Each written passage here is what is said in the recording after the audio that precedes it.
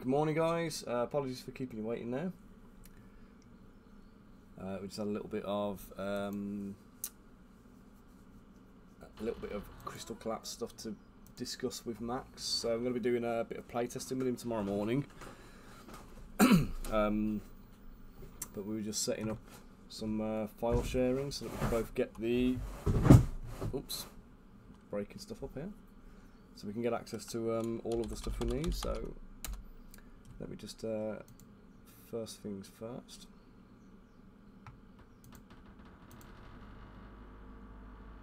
Let's go get some music on. I'm going to stream until about 2 o'clock this afternoon. Um, and uh, hopefully by the time I finish the stream today I'll have the remaining two bandits ready so we've got three melee bandits we've got two shooty bandits so I've got to add one more shooty bandit and then one more elven bandit I, honestly I want to do t I want to do two more elves because I've got three and three and three um, but I feel like that many elves in a group is a bit overkill so I think I'm going to rein it back. I'm just going to stick with just the two. Okay, so let's get the uh, let's get stuck straight in. So I need a human female. so we'll start with this one.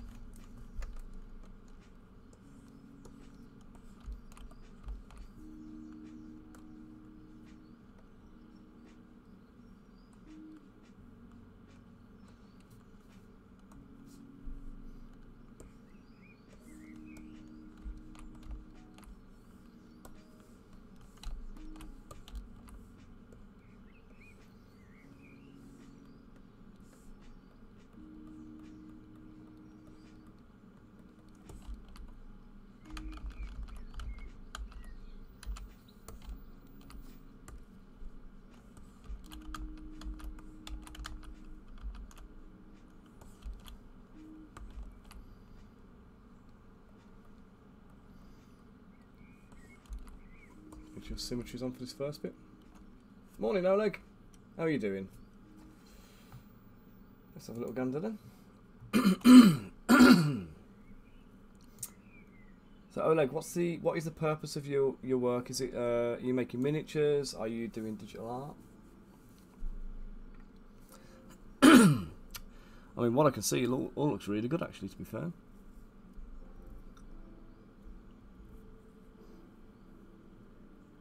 Pokemon characters are all nicely exaggerated. They all look like they will. Uh, let me just pull this down onto the screen actually so we can see.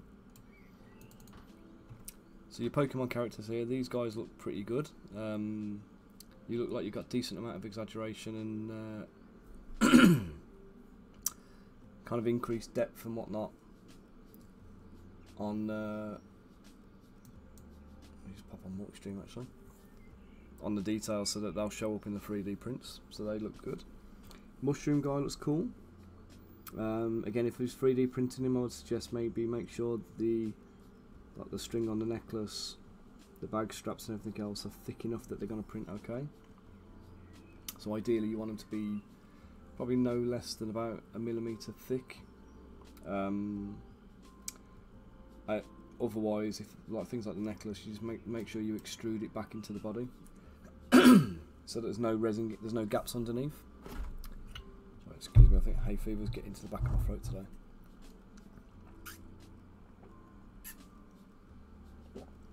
Okay. Um, colouring's lovely on this guy, by the mushroom guy, by the way. Uh, this guy looks good as well. so, uh, again, in terms of printability, looks good. Um, I would suggest probably that some of the details might be a bit superficial for smaller size models. If you're doing him as a 75mm or larger, he'll be perfect. Um, if you're doing 32mm, the hair strands here are possibly going to be a little bit problematic. You're going to have to probably extrude them back into the head to make sure they're not like free hanging bits that can break off. Um, and some of the little details here, like the little ribbings and the uh, grooves in the, the vest, um, and some of this like intricate work you've got here, it's all lovely work. Um, but again, you're probably going to need to make the the ridges a bit more pronounced, uh, make the deeper bits deeper, make the higher bits higher, just to create that little bit of contrast. Um, but I would also say get get them get them printed and paint them, print them and paint them, um, and you'll you'll see it for yourself. Then you'll you'll see the uh, the issues. Painting will open up your eyes uh, to, and I'm not talking digital painting by the way. I'm talking like actual physical painting. Skeletons are looking great.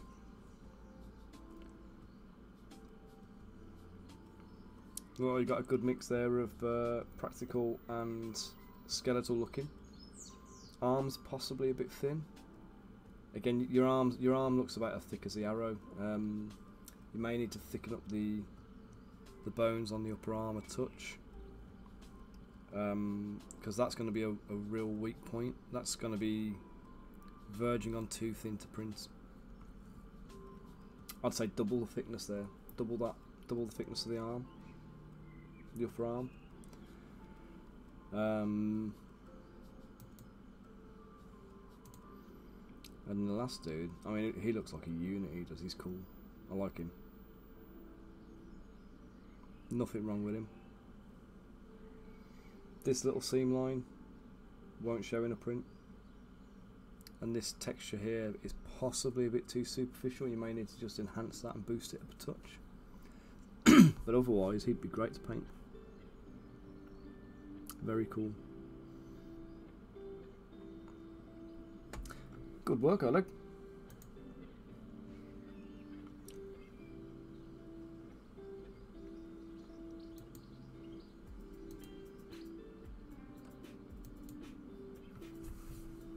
Very nice work.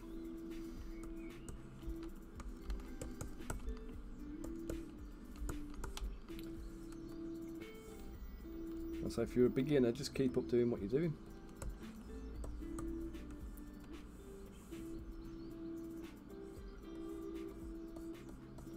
I've got no uh, no photo reference here, so this could be disastrous, but.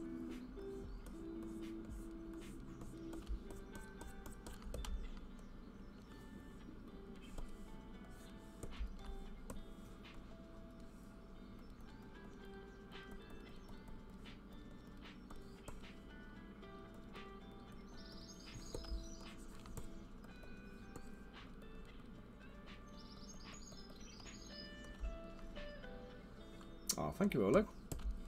I say, you feel free to jump in and uh, ask questions anytime you like. I'm glad you found some of them useful. If you're on the um, Discord chat, uh, if, if, in fact I don't know if I don't know if you are on the Discord server, but let me just uh, get the bonker. You beat me to it. Thank you, sir. Hope you're doing well today, matey. There you go, Oleg. If you use the uh, use the Discord server there, you can pop in. You can come and share your work. Um, post stuff up in any of the channels, join in the chats and discussions and stuff. And if you if you want any direct feedback from me at any point and you don't catch me on stream, you can always just pipe, pipe up in there. Um, and I'm always happy to have a little look.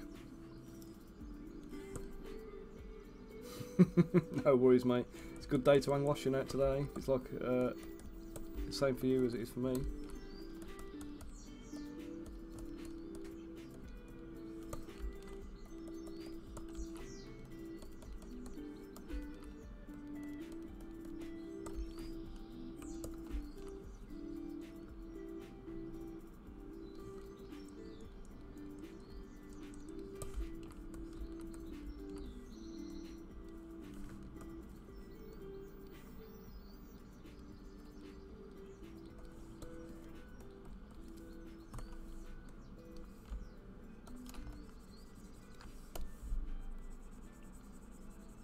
It's always nice to get a bit of feedback. Let, let me know I've, uh, I've helped.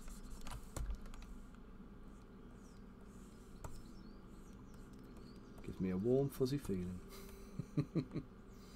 yeah, we had the same bunker, mate.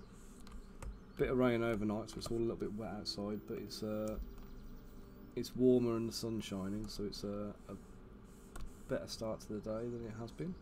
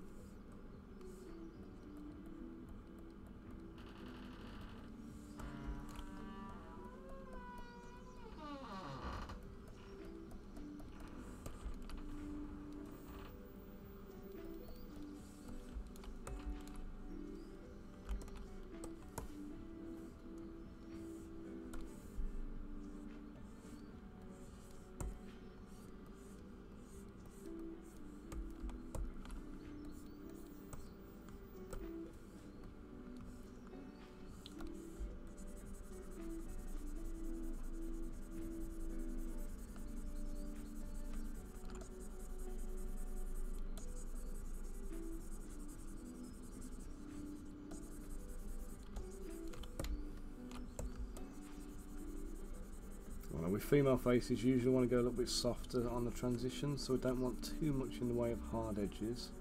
That's going to make it look very male. Um,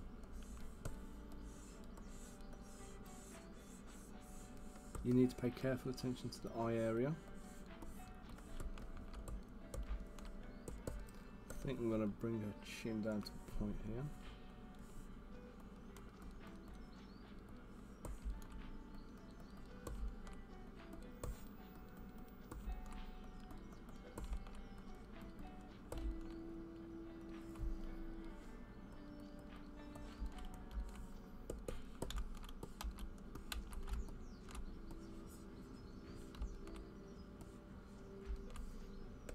Quite like that. It's not it's not what you call an attractive lady, but it's got a bit of a dishonoured vibe that I quite like.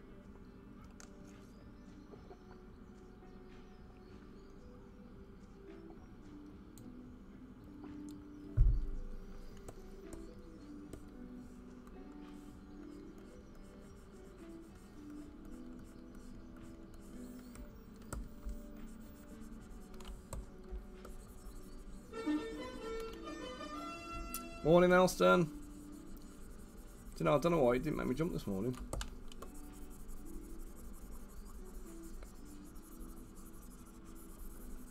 I stopped briefly and I was looking at the screen, so I wasn't like over focused anywhere else. But let's do as you say. Let's save the file.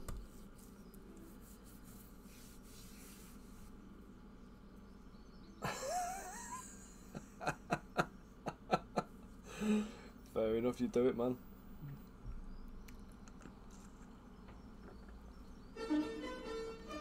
You know, I was just about to say, how's it go again? You beat me to it.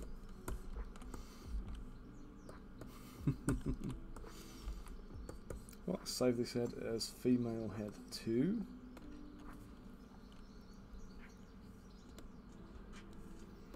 In the component library.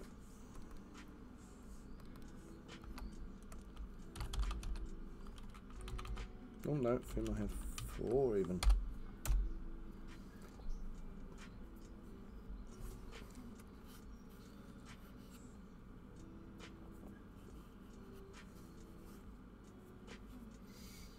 Well, I don't know what's going on, but I've had a, I've had like a couple of people over the last 24 hours have ordered like wraiths and skeletons and things like that, but like they appear to be like unrelated orders.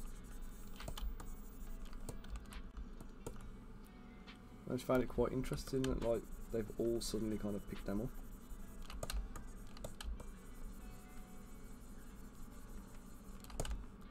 I mean, I'll be honest, they're amazing models, so why wouldn't you? You know, gotta say that, haven't I? I am biased, of course.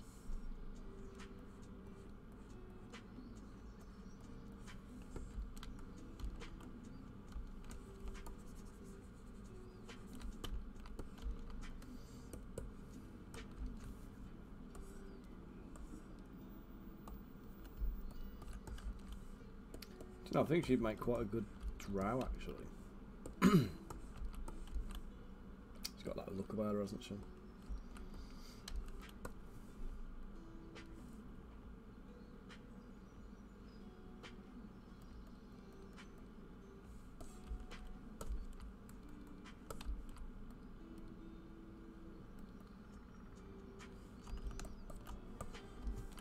I think it's the sneer.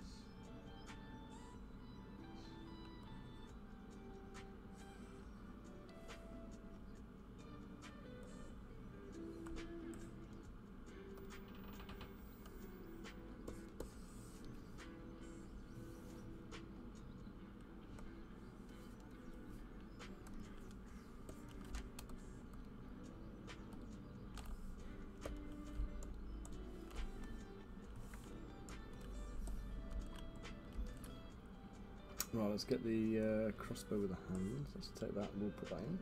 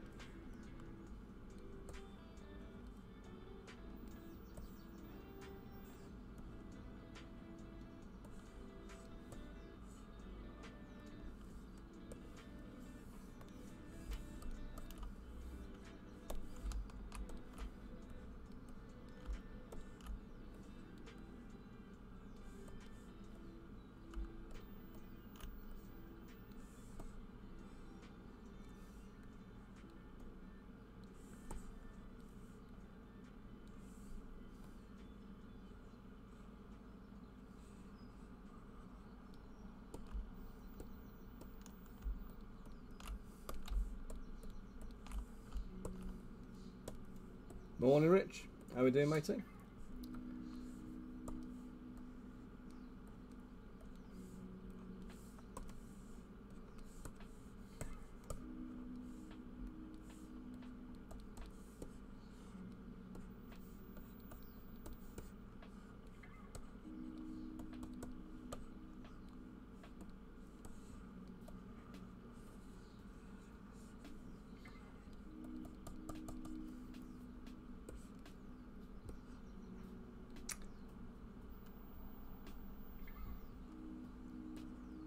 Oh, Rich, I'm disappointed, mate. How come Elston gets a little heart and I don't?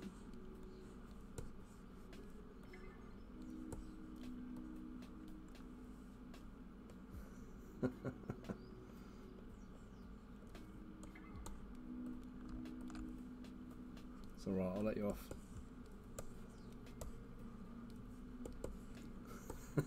Aww.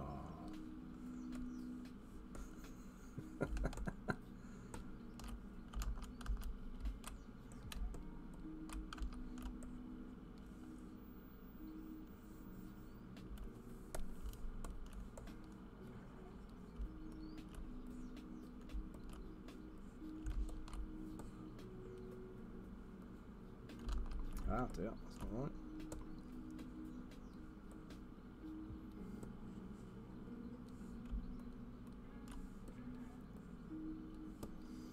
How's everybody doing today, anyway?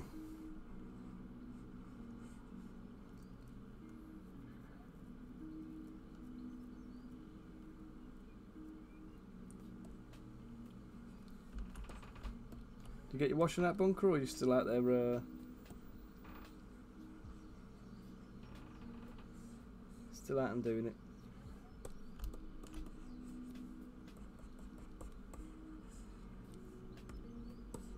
That's just made it a lot easier, hasn't it? I was just trying to move the body. So working around it, let's just remove all the stuff that's getting in my way. Make life easy for me.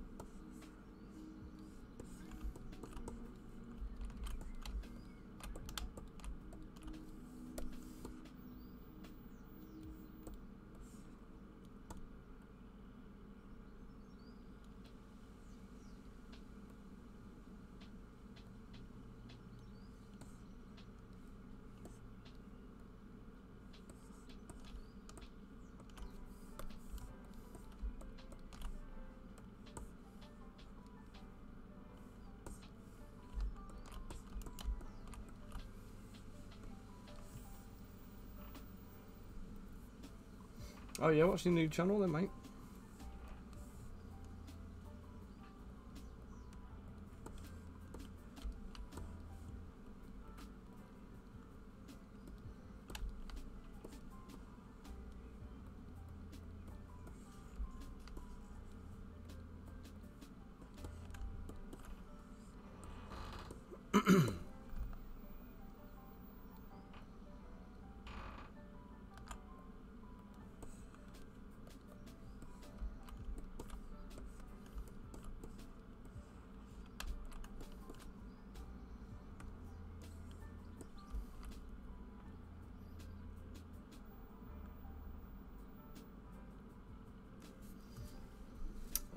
Right, let's have a little gander then.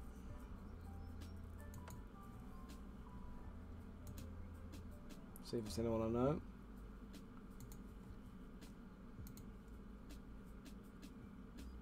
Oh, Metatron. Oh, mate, I've been watching him for ages. I love his videos.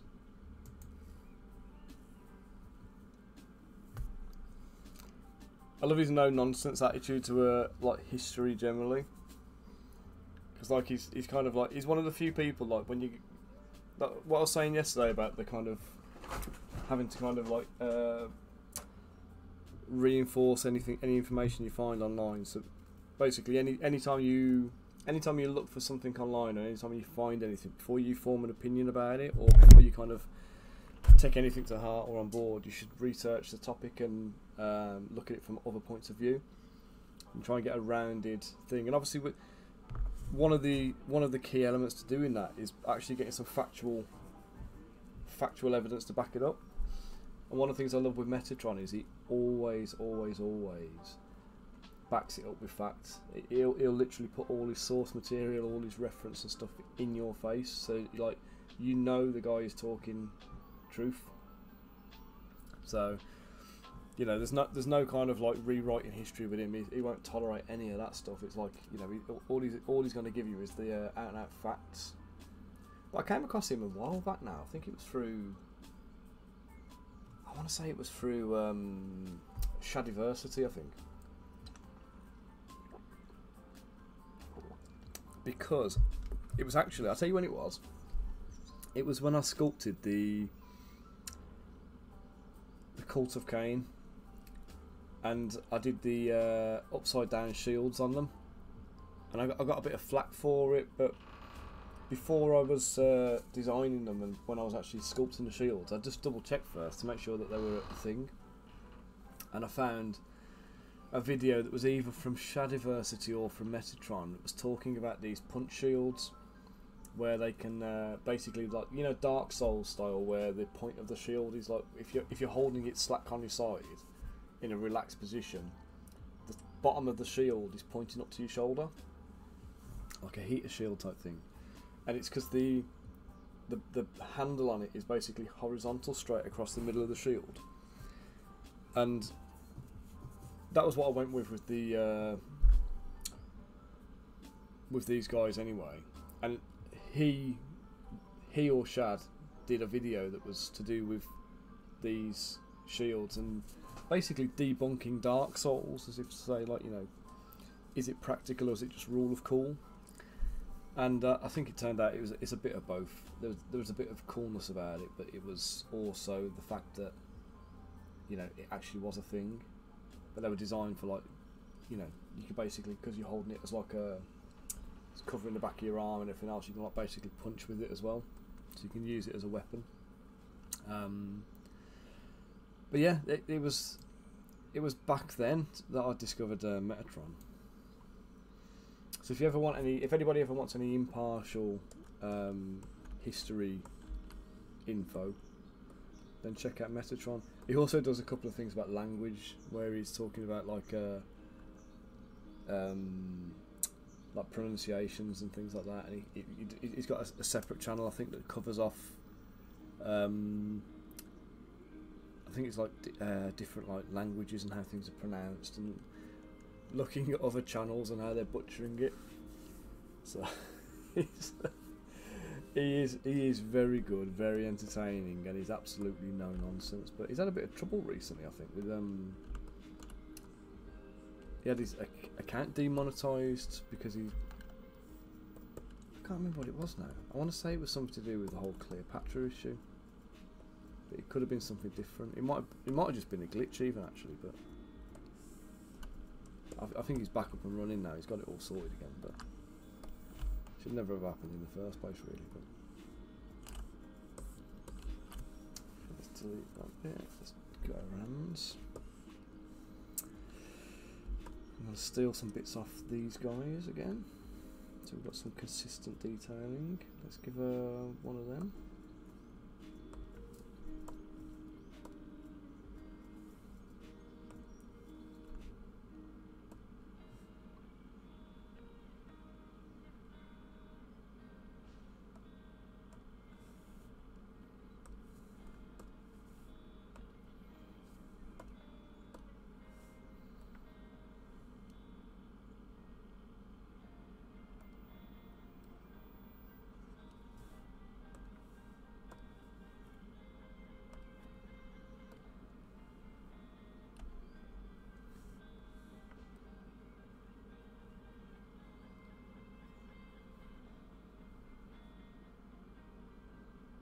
Which one are you watching now? The one, the one where he's talking about the Italian, uh, like slag, slagging off the uh, the language channels, or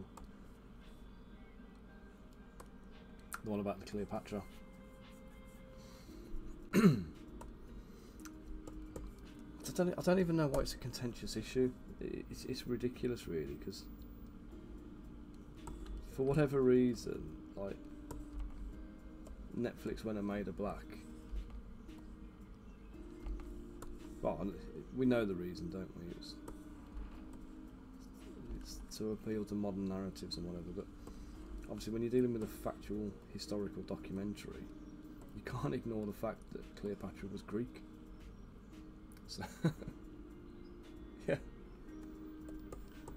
you know, she was Greek, and like Egyptians acknowledge that she was Greek. They know she was Greek. There's not there's, there's nowhere at any point is anybody trying to say otherwise until Netflix come along and do it. And you know, it's one thing when you when you're dealing with like um, things like uh, I don't know, like the elves and dwarves and stuff in the you know, War of the Ring, not War of the Ring, what was it called? The Lord of the Rings series, because they're fantasy. You know, you can, you've got a little bit of slack there because of that. As- As much as you might upset the kind of the hardcore Tolkienists, but um, you know, the, the, the fact the facts are the facts, aren't they? Do you know what I mean? Like, no nobody can really kind of get too pissy about elves. You know, not all being white because they're a fantasy race, so you can do what you want with them really to a point. As long as you're willing to disrespect and disregard the source material. Um, but when it comes to history, history is history. Do you know what I mean? You can't you can't get around that, no matter how much you might want it to be. And I think in his video actually there was something he said that was quite interesting. And I don't know, it made me think about it. It's, it's, it's got me wanting to like look into it a little bit more. Like, I didn't I didn't realise I, I completely missed it, but there was a a BBC series a while back. I want to say it was like 2016 or something like that. It's going right back where they it was a, a series of Troy or something like that.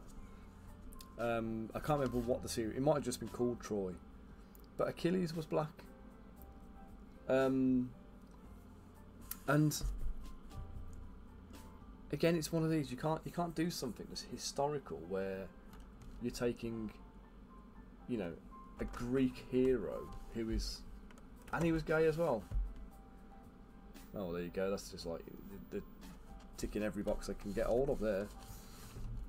But you can't you can't take a kind of renowned Greek hero and rewrite him for the purposes of like you know of TV. It's not it's not like taking a fictional character and giving them a kind of a remake or a revisioning. Like you know, you take a character who ne- hasn't necessarily had like a full description or you know there's they've never been represented visually or whatever, and you can kind of create them in your own image. But like Metatron's video, what he says in there, which is the one that got me thinking about it, was actually there's tons and tons and tons of like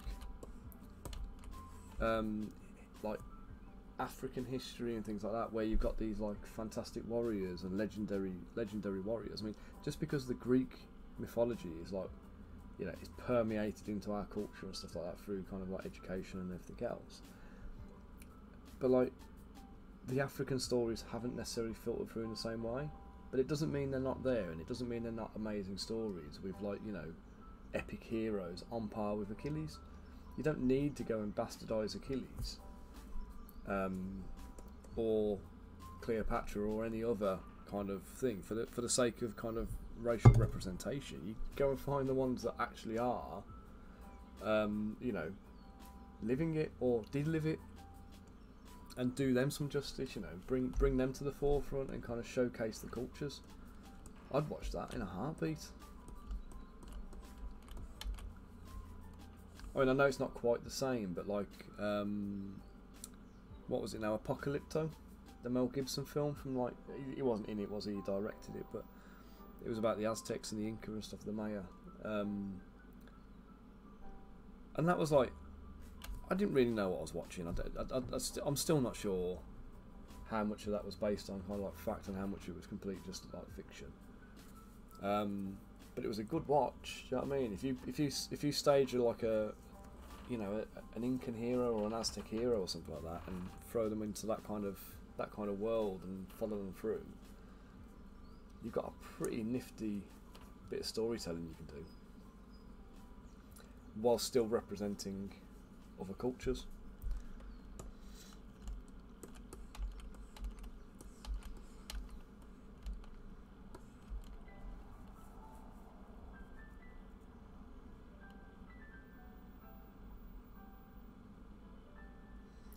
No, I, I, again the, the the Metatron video. He he kind of talks through all the source material from um, from uh, what you call it? Um, all the kind of the Greek the Greek legends around around Achilles, and he kind of literally pulls up all of the the illusions that people have kind of interpreted to mean that he was gay, um, and it's tenuous. it's very very tenuous. But if you think again at the time, like the relationship between like two men would have been very close because they were they were they were fighting, they were at war, they were you know they were spending all their time together. Um, they would have a different relationship to, you know, say like we would have, for example, because of the way that they live and the way they, they, they are together. Doesn't mean they're intimate with each other. Um, and it's like I say that the actual the actual wording and stuff that they've they've they've kind of twisted and picked up on is not on the face of it. It's not what they've made it into. If you know what I mean.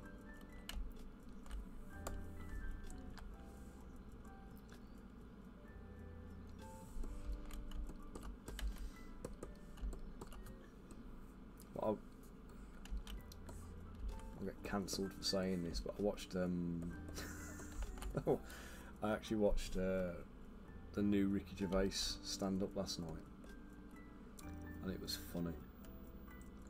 It was it was such a, a slam dunk against kind of like modern society and modern culture stuff. It was just he didn't hold anything back. He just goes for the throat from the, the minute the thing starts. Um, I'm not going to repeat any of it, or even tell you about any of it. But if you think if you think woke is a is, is a kind of a, a joke kind of thing, then definitely have a definitely give it a watch.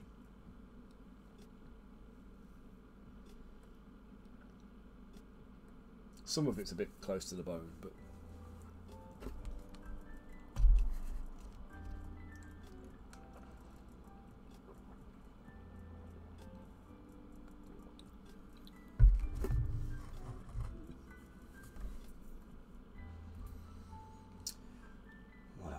steal off this one.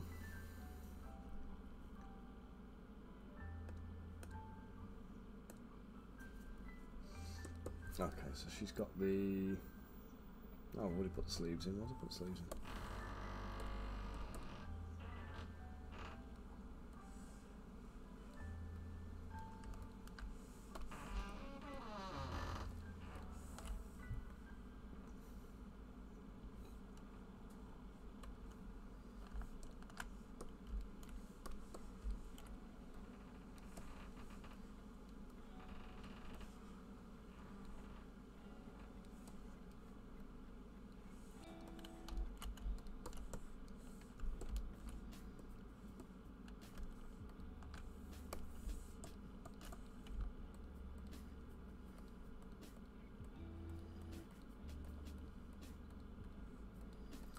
Should have merged all this together to save myself the, the pain of having to do this.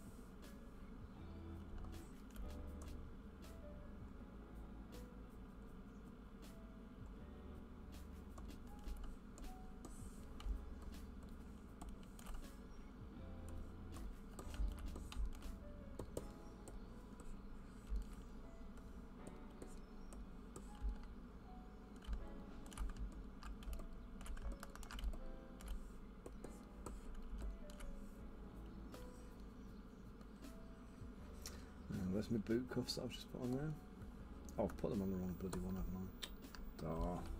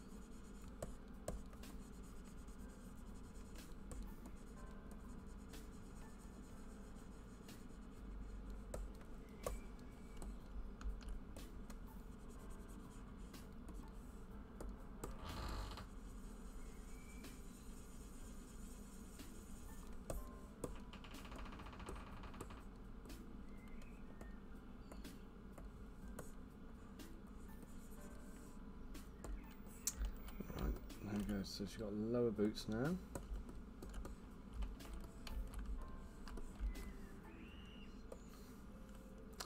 I'm going to go for different trousers as well, so let's just uh, let's put a split at the side.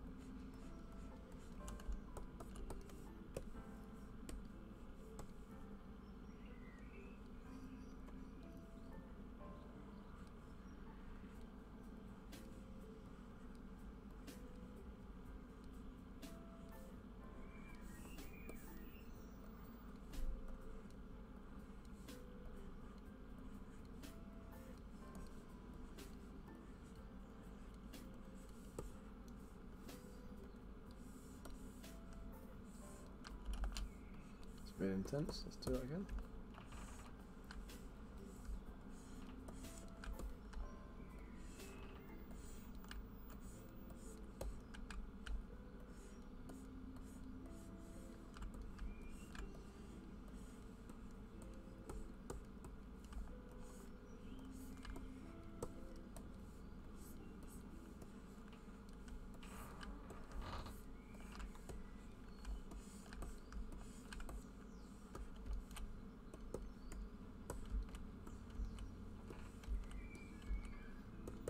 So we'll come to tatter them up again in a bit when it comes to uh, posing.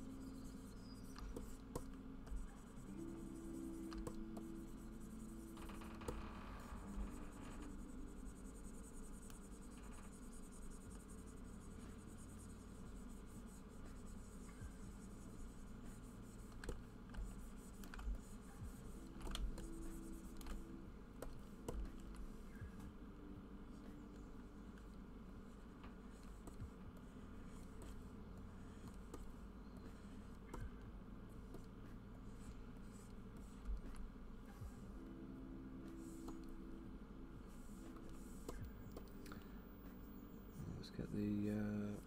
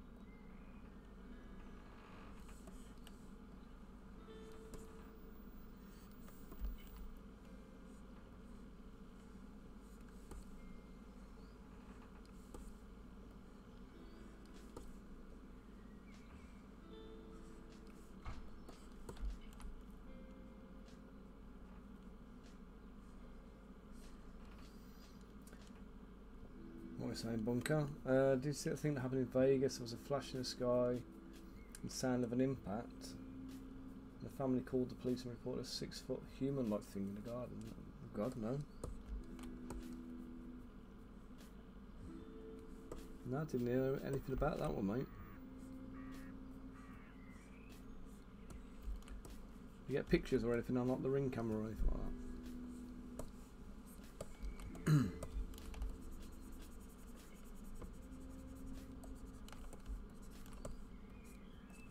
You got an art, got a link to the article there, fire it over, mate. I'll have a read later.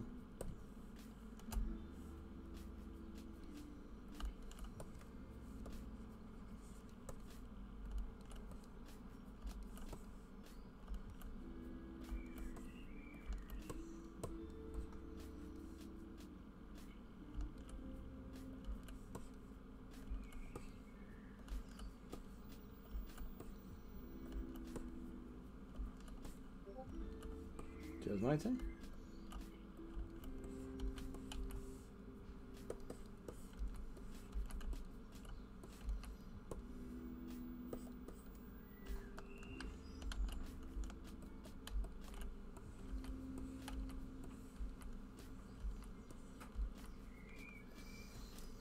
Hey Dennis, how's it going, mate?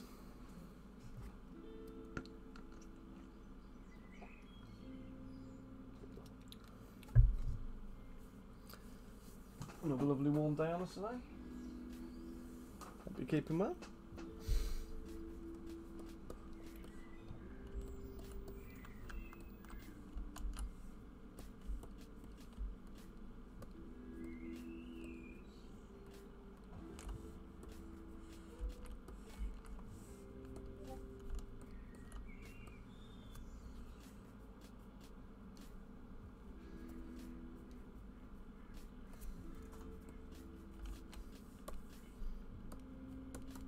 Cheers, bug light.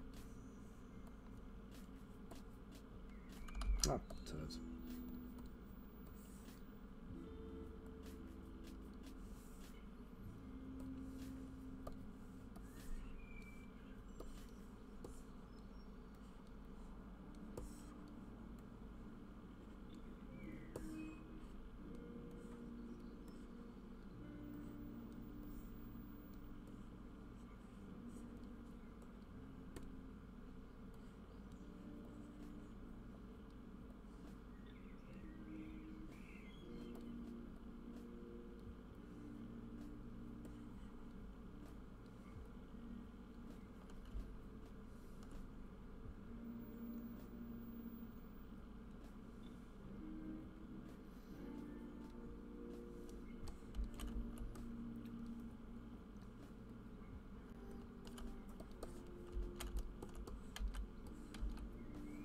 How's the sculpting going, Dennis?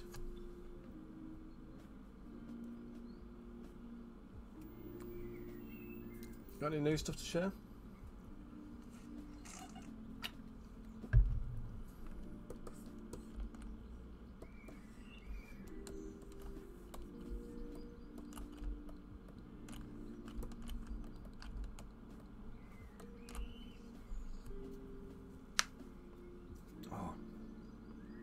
Guys hear that crack then? That was my knuckle.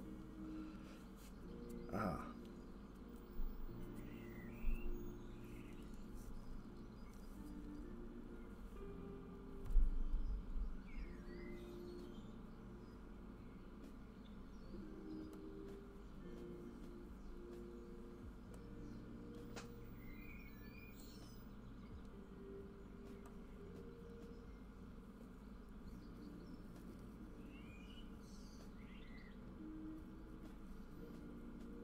You're not tempted to grab a resin one yet, uh, Dennis? I think the scale of your tanks, I think the uh, resin would do it a lot of justice.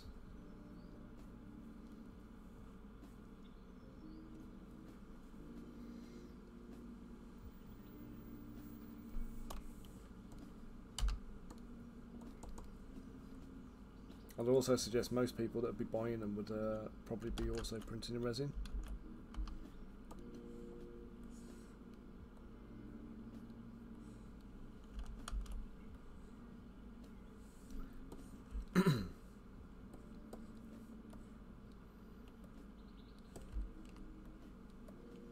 Is that because that's what you're more familiar with, though, or is that because is there another reason you prefer it?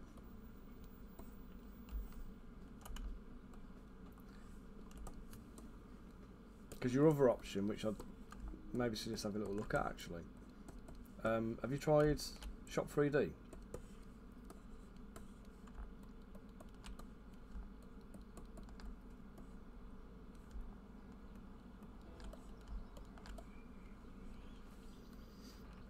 Yeah, I get you.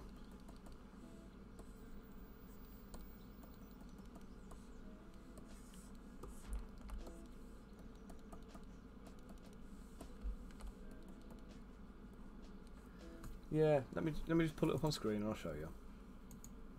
Definitely worth you looking into because especially if if you're only printing uh, small amounts of stuff. So it's shop3d.io. They got bought out by My Mini Factory a while back. Um,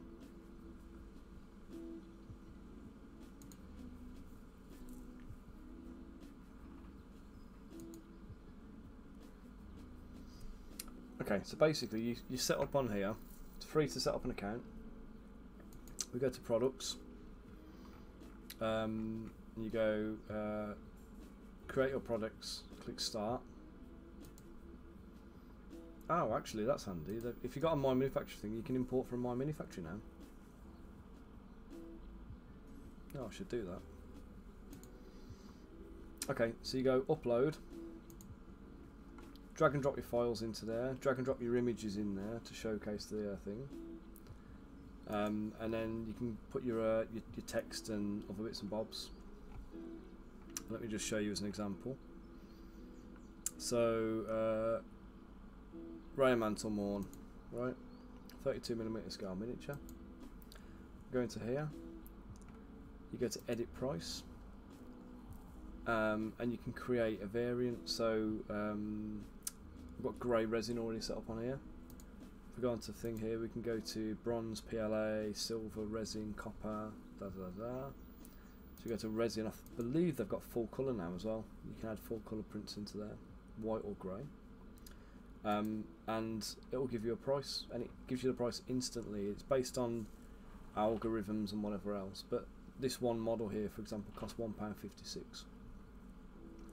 so you set your price for the model um, they basically then take the £1.56 manufacturing cost and they sell it on um, Only Games for you, uh, and they'll sell the models to the public for you through your own storefront. Um, so platform profit refers to that. So basically, if I sell, if I sell this model through um, Only Games, um, I make two pound ninety four off the sale if I do, um, if I buy it directly, so if I buy 20 of these models to sell at a, at a show, they charge me, well, they charge me £1.56 and I'll make £3.44 off each model. However, you have to pay VAT on that. Um, and you can do drop shipping from your own website as well. So uh, you set up drop shipping. So you go to where is it now? Submit to store link it to your Shopify store or your um, WooCommerce store or Wix shop or whatever, and you submit to store, and the models go into your web store.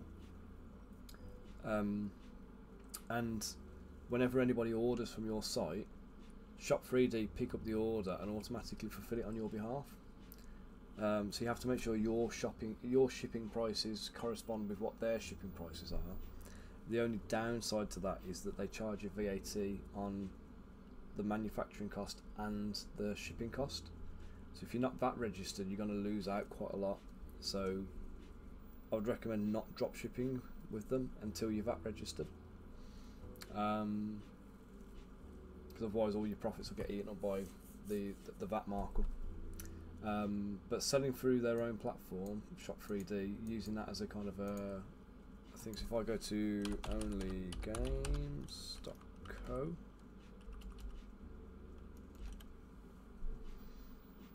so this is their actual website um, if we go to creators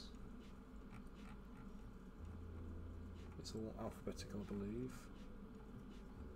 Uh, I think I'm in Alpha Lions Tower.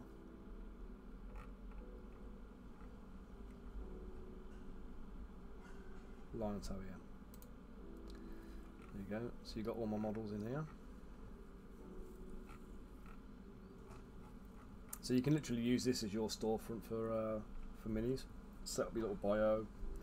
It's all done through a little back end, um, and yeah, you basically just sell all, sell all your gear on here, uh, and they literally handle everything. They handle the printing, and the prints are fantastic quality, by the way. You can't knock the print quality at all.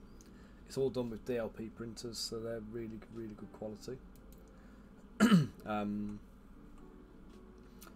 so yeah, check it out. Have a little look. So it's Shop 3D is where you upload all of the stuff in the first instance, and Only Games is the the platform it publishes to.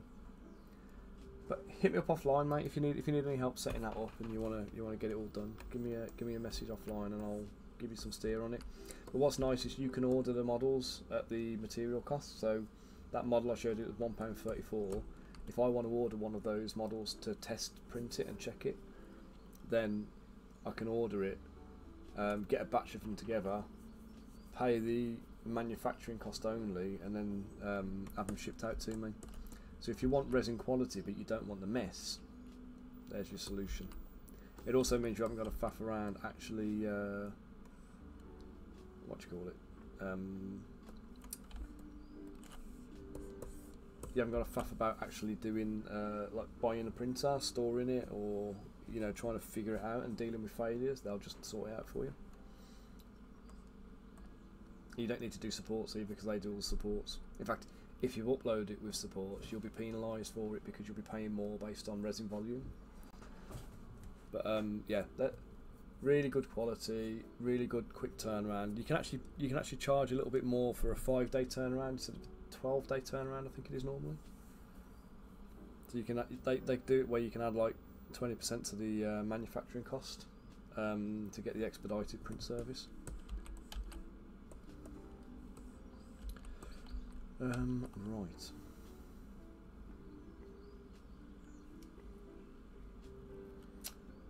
I don't think you pay for it, mate. So my mini factory, if you have a my mini factory store, you pay twenty five dollars a month. For only games, you can pay the standard. You, you don't pay for a store. You just pay um, for the products that you sell. Uh, and they do they do offer a twenty five a twenty five dollar premium where you can have um, like the models are sent out in packages with like your own branded packaging and stuff like that. So, oh, and you can add bases as well. So you can you can actually add plastic miniature bases there as like uh, non-printed products and stuff for like eight p a base or something. So there's a, there's a lot of good stuff on there, mate. There's there's, there's a, a lot of reasons to kind of want to use it, but um, doesn't work for me so much trying to sell my own products through my own web store, um, and also having the store there.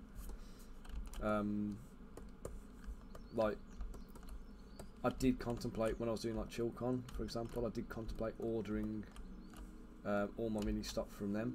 Because no, if I order like a thousand models, they'll still have it turned around to me in 12 days. Um, so you know, it's it's a good quick turnaround. I think if I was fulfilling a Kickstarter with lots and lots and lots of stuff, I'd use it. Um, but just think of it as like another tool. Do you know what I mean? It's another thing. It's another thing to help you kind of do your business, and it's good also in that it it does lighten your load. Um, in terms of how much you physically have to do. So, like for me, I, I would rather print the stuff myself and sell it through my website myself. Because um, my plan basically is I'm going to up level uh, level up my print farm to the point where Haley can manage it full time. So all the orders that are coming in, she can kind of. At the moment, I'm still doing all the, uh, the, the, the print orders that come in. So after the stream finishes, normally I'll get the printer running, get uh, some prints on, um, and then before the stream, I'll switch the printer over, clean some prints up, and whatever else. So I'm still managing the printers, and I know like, and again, I don't mind talking to you guys about this. 'cause Obviously, it's not just about the cost of the models isn't just about the or sorry the price of the models isn't just about like raw material cost. There's obviously there's electric there's printer maintenance there's overheads like that there's my time there's all these other things that go into there in terms of valuing the models and putting a price on them so obviously you know that a model that you buy from me that costs like nine pound um, isn't costing me nine pound because it's it's all based on like weight uh, of the resin so say an average miniature is say an average model that we'd sell for maybe seven pound on a website. Um, Rhea Mantlemorn as an example. So on, on the website we charge we'd, we'd sell her for seven pound because that includes the VAT. Um, so or seven pound twenty. Only games will sell it for less, but they'll add the VAT on at the end, so you'll obviously get the the VAT is, is taken um, is handled and stuff. So um, actual raw material cost for me to print Rhea Mantlemorn, she's about uh, four grams or something like that. So it's resin's five pence a gram. So let's take the weight of the model, let's multiply it by fifty percent to allow for the, the volume of supports and stuff that are like waste material if you like. So we're talking uh, six grams worth of resin for Rhea Mantlemorn at five pence a piece. So she's costing me about thirty pence to produce her. So Shop 3D are charging me was it one pound, one pound fifty six or something like that. Um, and they'll produce they'll produce it for the, for for that, and then I get the the remaining profit. But obviously, if I sell, you know, a hundred models, um, that's like an extra one pound twenty a model that they're charging on top of what it's costing me to produce it. So it's do you want to maximize your profits or do you want to maximize your time? And that's the difference. If you're time poor, then definitely take the hit and get them to do it for you. Um,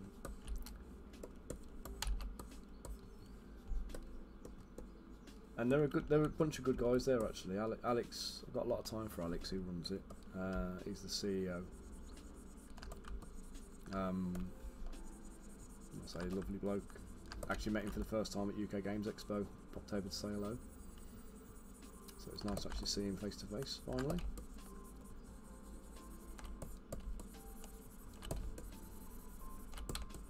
I met Joe briefly as well. He's uh, been helping me out getting the Warlock campaign ready to launch.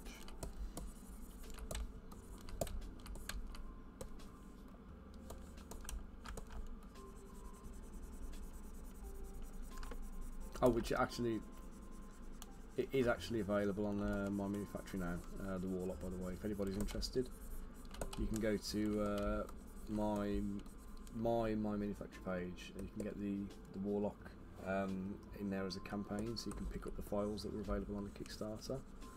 I uh, haven't formally announced that yet, so I need to send out an email to everybody and let them know it's like the uh, pledge manager kind of bit is live. So hopefully we can get a few more sales on there, get some uh, stuff picked up, and see if we can maybe unlock a couple of the extra stretch goals.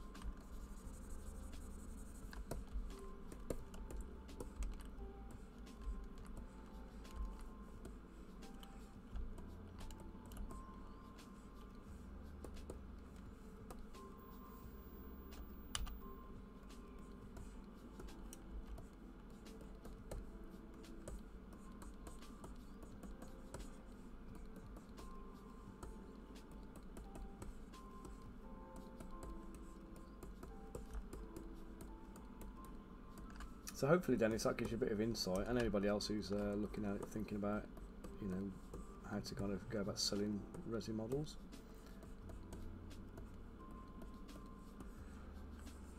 And obviously, one of the one of the reasons to, to want to do this as well. So, like with the uh, with the Patreon, so I do offer a very limited number of merchant licenses. And that's like a legacy thing because I've always done it. So I've got a few people who are kind of like on there. Um, but obviously you've got to be aware that everybody's got different standards. Um, my standards for 3D printing are very high. Um, so anybody anybody who's bought models off me will be able to vouch for that and kind of like you know attest to the, uh, the the print quality I'm putting out. You know, there's no support material on there. Everything's properly cured. Details nice and crisp and sharp. Um, you know, only the best gets through my QA. Apart from one time when I accidentally, I completely missed like a layer slide. See Bunkers there, give me the thumbs up. Thank you, Bunker. Um, but obviously, not everybody else has got that same kind of high standard. Uh, and there's quite a lot of people. Hopefully, hopefully the people who are in this kind of particular category will have kind of fizzled out a little bit over the last year or two. Um, a lot of people picked up 3D printers um, during lockdown and COVID and stuff like that as a means of getting a bit of extra income, which you know, all well and good.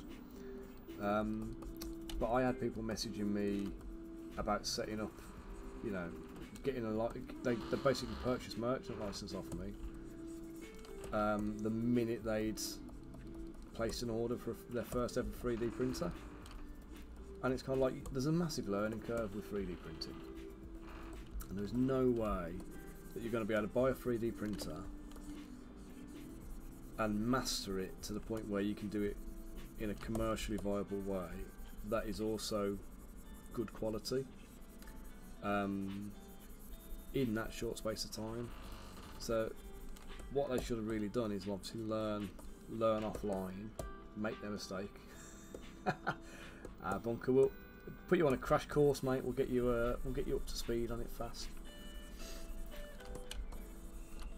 But you've got to you've got to make your mistakes, and what you don't want to be doing is making mistakes on, on customer orders. Do you know what I mean? When you've got when you've got stuff going out on like time sensitive, uh, you know, turnarounds and whatever else, you can't afford to be making mistakes, and you certainly can't afford to be making like dangerous mistakes. So we had things like uh, there was a guy I've, I've, talked about it before, but there was there was a guy on um, one of the groups and he'd been sending 3D prints out for like six months. He'd been doing it, um, and what he'd done is like he'd hollowed every model he'd ever he'd ever printed because it saves money. So like even like a 32 millimeter human, kind of hollowed them out, which means like you can imagine how how bad that's going to be in terms of like the, the the saving. I've just told you that you know one model's costing me like 30 pence and that's using a, a, a more premium resin.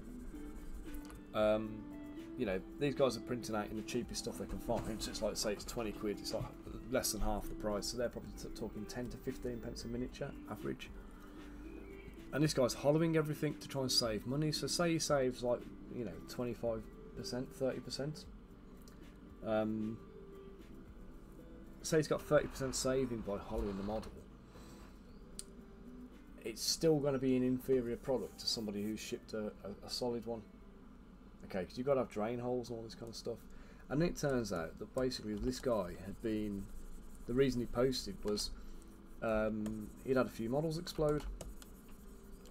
So some stuff that was in his display display cabinet or on his desk or whatever that he printed when he first started had split open and resin had leaked out of it. So bear in mind resin's like, you know, toxic and not the safest of substances. It can make it, you, you know, give you dermatitis. It's all sorts of potential issues with it, right?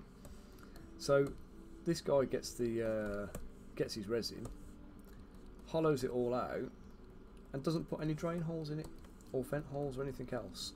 So he thinks he's saving 30% of the cost every single time he prints. But because he hasn't hollowed it, he's basically made like a soft, a, soft scented sweet kind of thing. Hey, license, how you doing? Thanks for tuning in on YouTube today.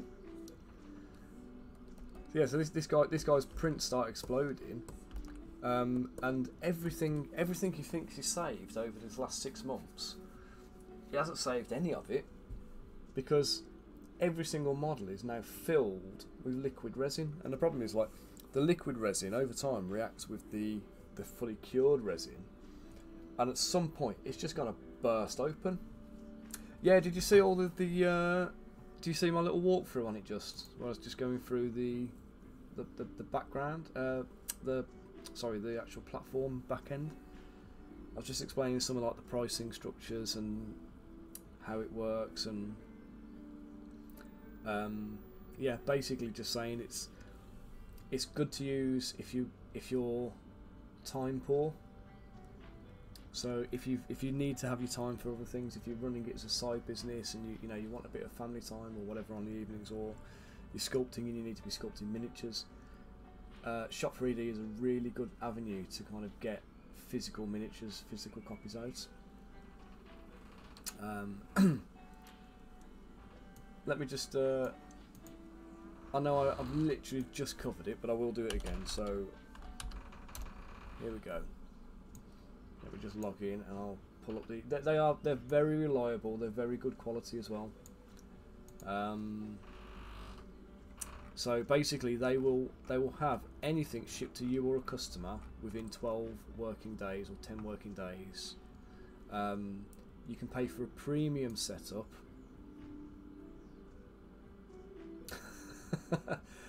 yeah, Anton's not really on it anymore. Um, you're right. There's a there's a guy called uh, Alex, um, who is the, the, the CEO, and he's a great bloke. Um, but yeah, Anton's Anton's kind of like a he's a higher level rep, I think, in the thing now.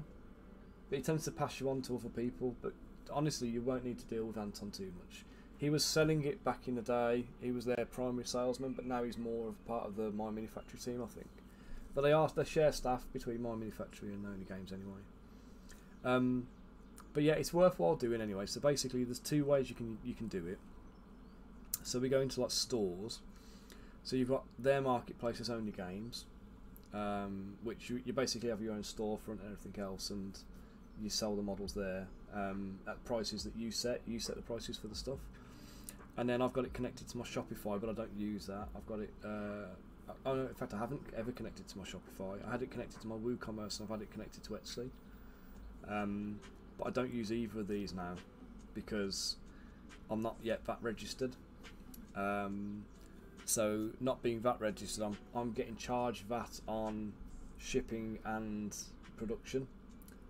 Uh, and obviously that's a, a, bit of a problem. I've never used metal. They they do um, they do have it in there, and it's easy to easy to kind of do. So let's uh, use the the same model I, I demoed earlier. So Raya Mantlemorn.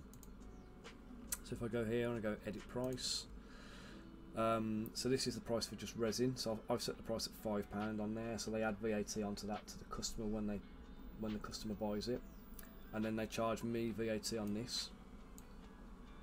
I sell both. I, I in fact, for me, so my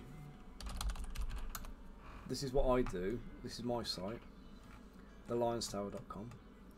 So I have uh, STLs and um, resin miniatures on here. So the stuff I sell on my site here is bought from me directly. So there's nobody taking a cut of this.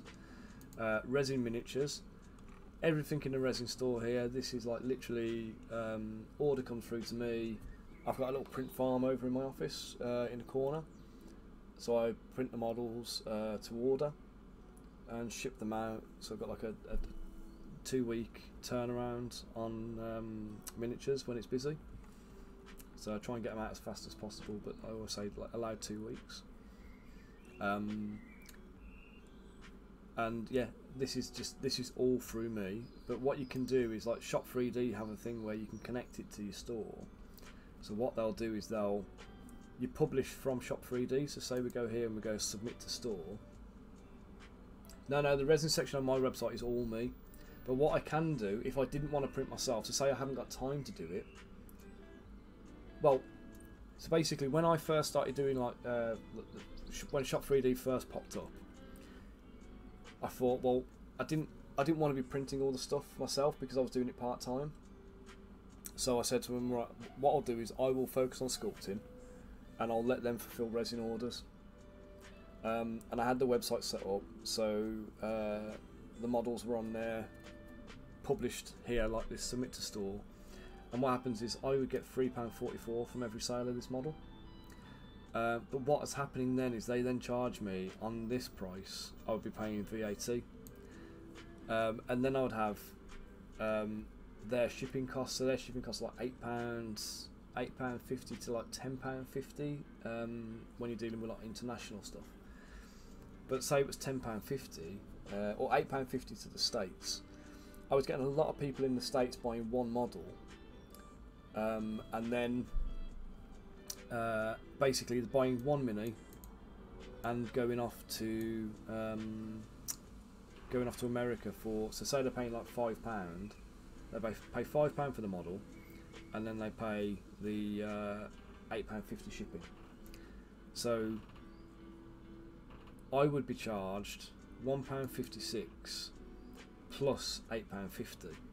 So that's like nine nine pound fifty six, and I've been making three pound forty four.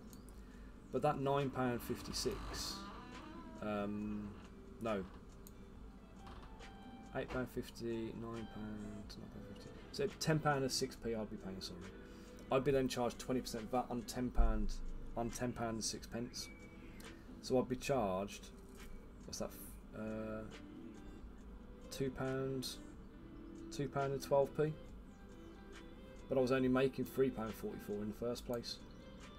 So my profit per, per miniature sale then went to a pound, and back then the prices were lower because the um, they they kind of had recommended prices, which was like it gave you a kind of a a sixty percent markup or hundred percent markup or something like that off their manufacturing cost. Um, and my, my profit was eaten by VAT. Yeah, yeah. This, this, this is this is how it worked in the UK. Um, my profit was eaten up by the VAT, so it didn't really work out well for me. That one didn't. So, not being VAT registered, I couldn't claim the VAT back. Yeah, if you don't, if you're not in the UK, they don't charge VAT. Um, so you'll be you'll be fine if you're not UK based. But basically, let them let them sell through their platform, and you go to you go to Only Games, and you basically host your store there, and you can pimp that out and use that for your marketing and sales. But you set the set the model up, click on um, the little plus up here to create a new variant. Go to materials. So say you want to go for like a silver one. Select colour. You basically say it's like you know is it polished or whatever else, antique finish or whatever. So let's go an antique finish and add that. Um, there you go. So quote not found, so you can't get that, cannot be calculated. It's probably just not optimised for, for that kind of that kind of service to be honest. Um, so that's not really helped you at all showing you that one. Um, so yeah, so bit like I say, you put the resin ones in and they come up with the resin price and it'll just produce what you need. Then you've got an option then you either sell through them, so you can you can sell it through your own website um, and make that level of profit. Sell it through their website, Only Games, and make that much profit. Or you order them yourself, paying that much, um, and that then kind of they'll, they'll, they'll ship a big bulk stuff to you. Yeah, Anton put a lot of people off early doors, you know, because he was quite he was quite hardcore on sales.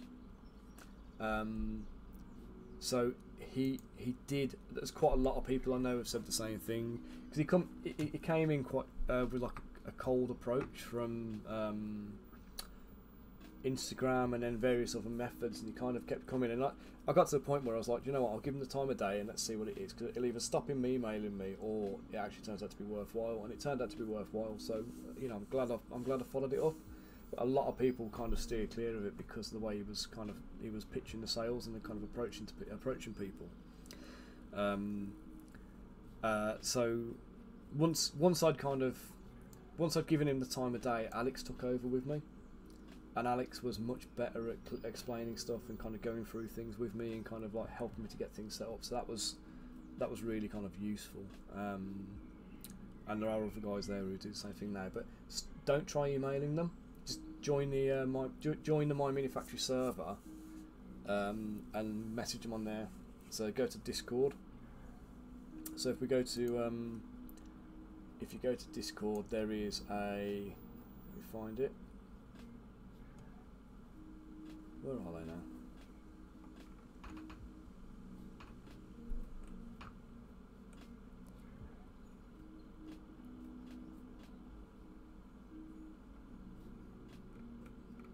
Oh, is. There you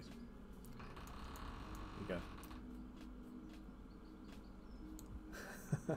well, if you go onto if you go onto uh, My Mini Factory, you got Creator General up here, and what you'll find is you'll uh, in fact it's Creator General or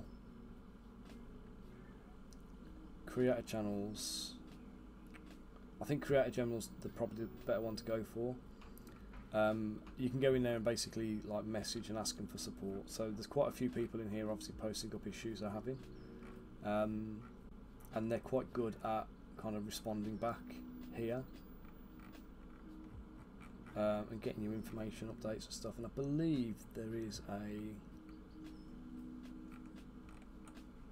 yeah over here the My Mini Factory team. So these are the guys who are kind of like generally helping. So Joe is one of the guys who does uh, my stuff. He's useful to speak to. He's a good guy. Um, who was the other one now? I'm surprised there's so few of them actually in there, like marked up as team. But yeah, Joe Joe's a good guy to speak to. So if you don't want to speak to Anton, in fact Anton's not even on. but like, go go in there, you can message Joe, um, and he should kind of jump in, jump on uh, and chat with you. So I've got a uh, in my thing here. I've got a Lions Tower chat. So I have I have Anton in there, uh, Yannick, Joe, and Reese Knight. So basically, there you guys. Anton looks like he's offline at the moment. But yeah, Discord's better than email by a mile if you've got to try and get hold of the guys. But my stuff here, like I say, for me, selling selling my resin stuff direct by just like you know taking the orders and printing them because I'm I'm doing my supports myself. Um, I'm already sorry, I'm already doing my supports myself anyway, and I already test print everything. So because I'm test printing and supporting, I've, I've got all the print files, so it's really easy for me to just kind of like run off a few a few minis when I get the orders come in. So, you know, it's worthwhile. It's worthwhile balancing it up and just see which which method works best for you.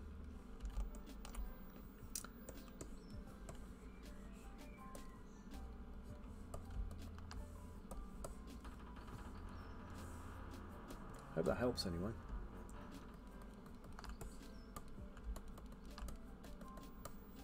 But yeah, I would definitely advocate using my uh, not my manufacturing, um, only games and shop 3D.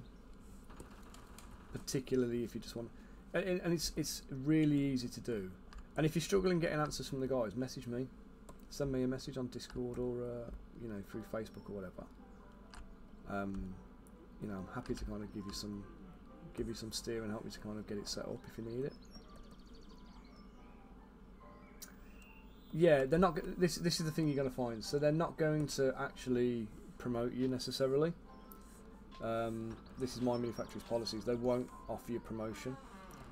Um, but if you're going to be out there, like pimping your own wares anyway, it doesn't matter whether you're sending them to your own website or you're sending them somewhere else to pick up your stuff.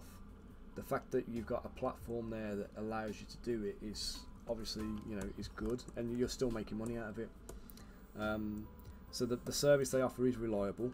Um, it's good value. It's good quality. You are setting the prices, so you know. The only problem is, is because it's a big marketplace. You can it's like I, I fell victim to this one. I, I spent loads of money advertising my mini my, my, my, my mini factory store when Tribes went live. so you spend loads of money advertising it, and it's like I might as well be advertising Amazon or eBay. Do you know what I mean? Like I'm I'm I'm paying money to get people to click through to the site, and when they get there, it's not just my stuff that's there. They could be going on to like everybody else's stuff, and I could be paying for like you know them to go and like buy from Artisan Guild or uh, Titan Forge or something like that, you know. So yeah, it, it is. It's a passive income, and as long as you're, as long as you promote it, you'll get the sales there. Um, and you know that when the sales come in, the models are checked, they're verified, they're all, you know, they've got good quality control on stuff.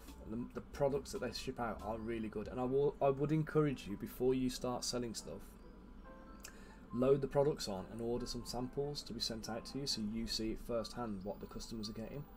Because it's all right me telling you this. Hey Dicey, how you doing? Welcome to the stream today, sir. Hope you're keeping well. You painting by the fjord again? Uh, they haven't. Re- yeah, the, the the Discord thing's kind of come about fairly recently. I think. I mean, in fact, no, I'm telling a lie. There, it hasn't been a recent thing at all. They've always done it. Um, they've always used Discord for communicating with with me. Um, and I've been there since like 2019. But they, yeah, they. I, I still say that the advice I gave before is if you have a, if you have a, a conversation, you double check everything with uh, with them by sending an email at the end or a Discord message just in writing, just somewhere in writing, so you've got the whole conversation backed up. Uh, if they outsource, no, it's all shipped from the UK. It's everything's produced in London. Um, so the, the, they when they first started, they used to have hubs around the place. Um, and what they found was the hubs that they were using, the, the quality control was variable in them. Um, hey, Di so what you been up to today, Dicey? You've been uh, painting by the fjord again?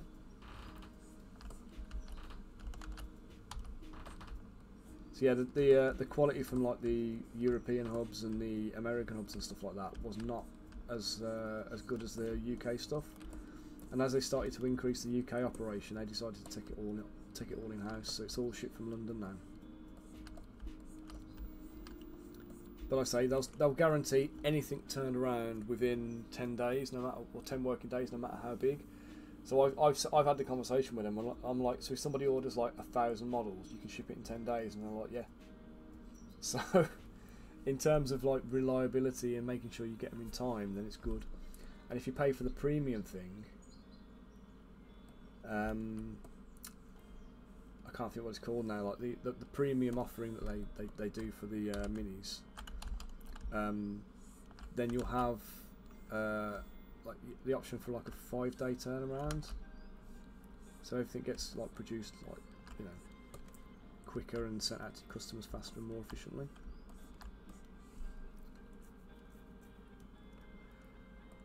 Um, I know they've actually got a separate site other than Only Games for selling jewellery, and I can't remember what it's called now. Um, and I don't think they've put as much I don't think they've put as much kind of uh, time into promoting it as they have elsewhere. Let me just double check a second.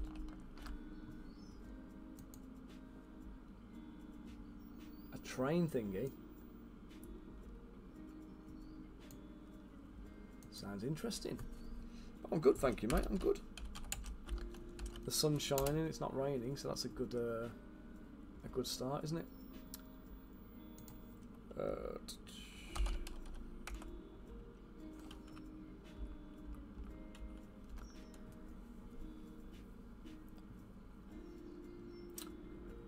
Right, so uh,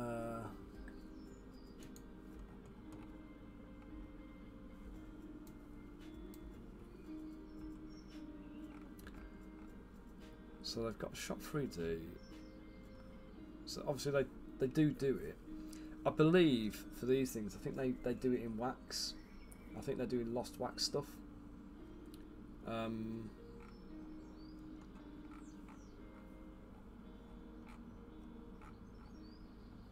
there you go. On-demand manufacturing for jewellery. And I know they have things like so when you're doing earrings and stuff, they actually do have the option to add non-printed parts. So you can have things like you know like earring, uh, earring hooks and um, like silver chain and gold chain and things like that. You can add those in there. Uh, but yeah, I think I'm I'm pretty certain they do they do it in investment castings. I think they're using uh, a kind of a, a wax a wax print. Oh my god! there you go. They do uh, they use like a wax uh, a wax 3D print that melts, and then they use investment casting to do the the actual model or the actual the ring or piece of jewelry, whatever it is. Um,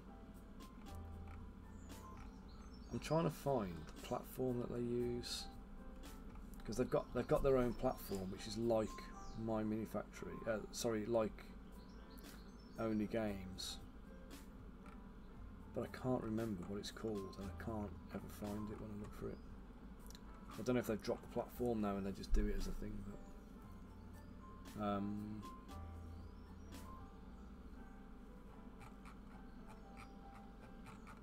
let's just check something if I go to the 3DC Limited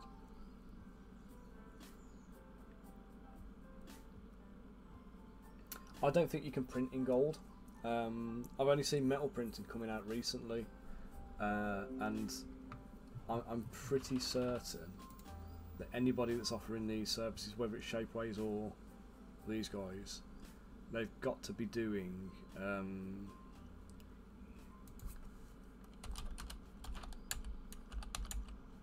shop free. What's? What was that for? Shop free D.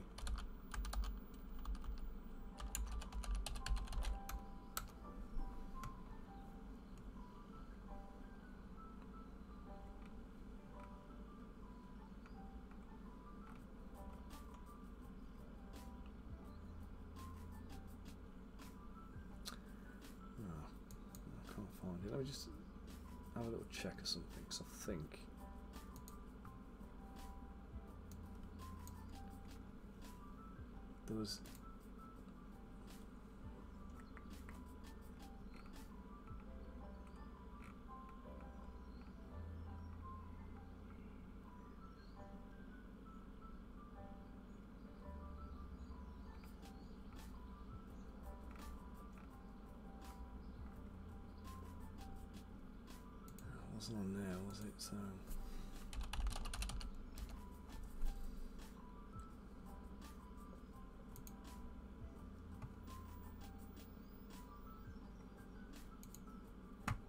Sorry, bear me a second. Yeah, no worries, mate. You lurk away, dude.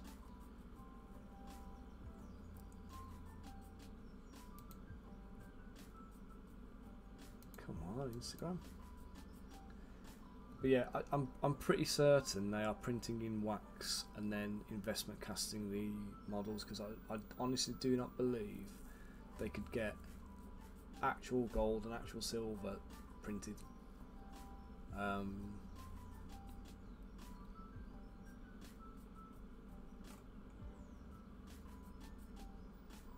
not to that quality at least, you know I mean?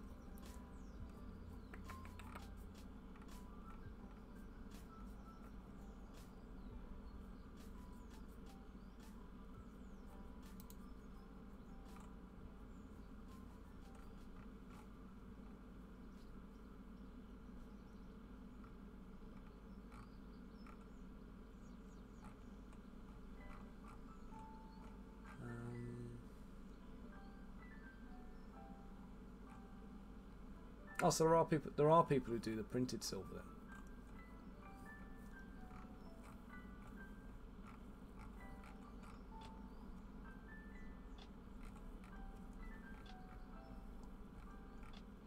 So I'm trying to find here. There's a friend of mine, Lucy, who was doing. Um, she was looking at making some jewellery at one point. I remember sending her the link to the platform. Now I can't find it.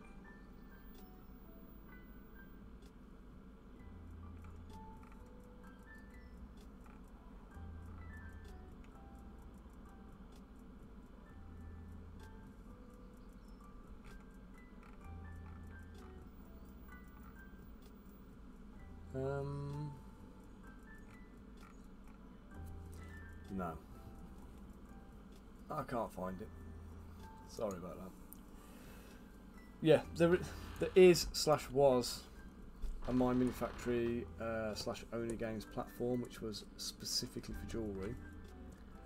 But I'll be absolutely buggered if I can find it now. So that means it either doesn't exist anymore.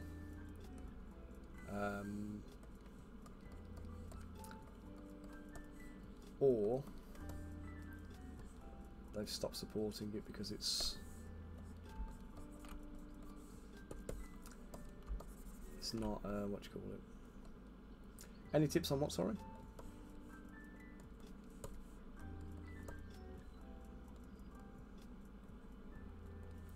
Got lots of tips. Never wear your socks in the bath; they'll get wet. There's one.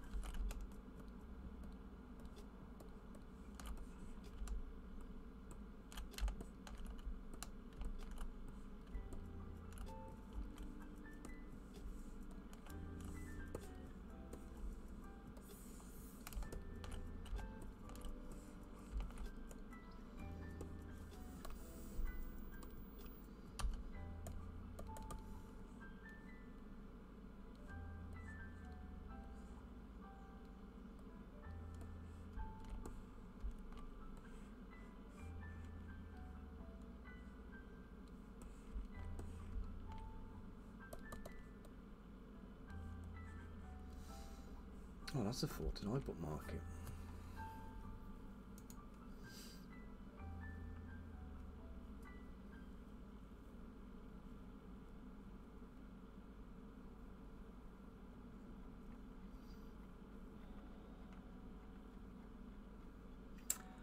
No. Of course I didn't.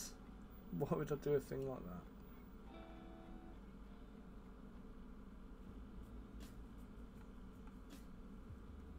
That'd be too easy, wouldn't it?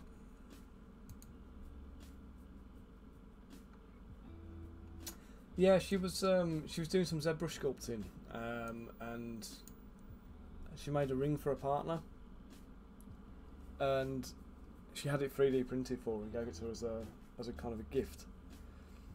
And then um, I think she was talking about actually releasing them and kind of doing like doing more of that kind of stuff uh, as a supplement. She, she works for uh, well, she works for she owns um, co-owns Game Tea, and yeah, it was one of the things they were looking to be looking to be doing. Uh, right, guys, I'm gonna have to just quickly duck out a second uh, because it's 12 o'clock. But more importantly, bursting for the toilet. I've been chugging cold drinks here, so that's keeping me uh, keeping the hay fever kind of like off my throat. Uh, so I'm just going to pop you guys on a BRB. Yep, coffee signy time, mate. Haley's in the house now, so I'm hoping it'll be all ready. It won't be, but I can hope. um, so yeah, I'll be back up in a bit. Uh, I won't be too long, so if you want to have a little peruse on my website, have a little browse. Bunker can throw a discount code up. Um, uh, go and have a little mooch on the store, and um, feel free to uh, to buy a few things. Okay, guys, I'll be uh, back shortly. Better quality signage. I'm the chef in this house, mate. So Cheers for that, mate. Well, guys, I'll see you shortly. I won't be long.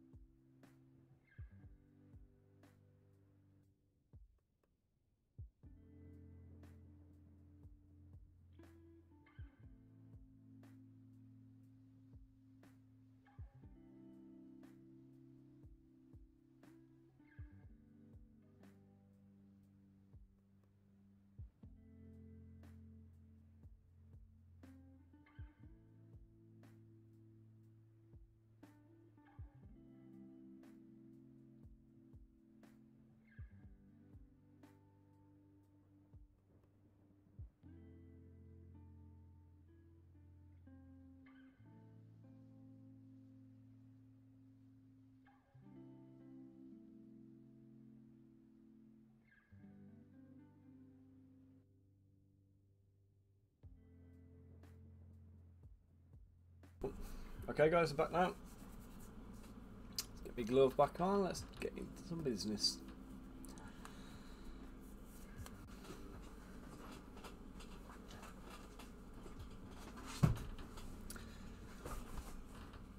Where is my hats? There it is.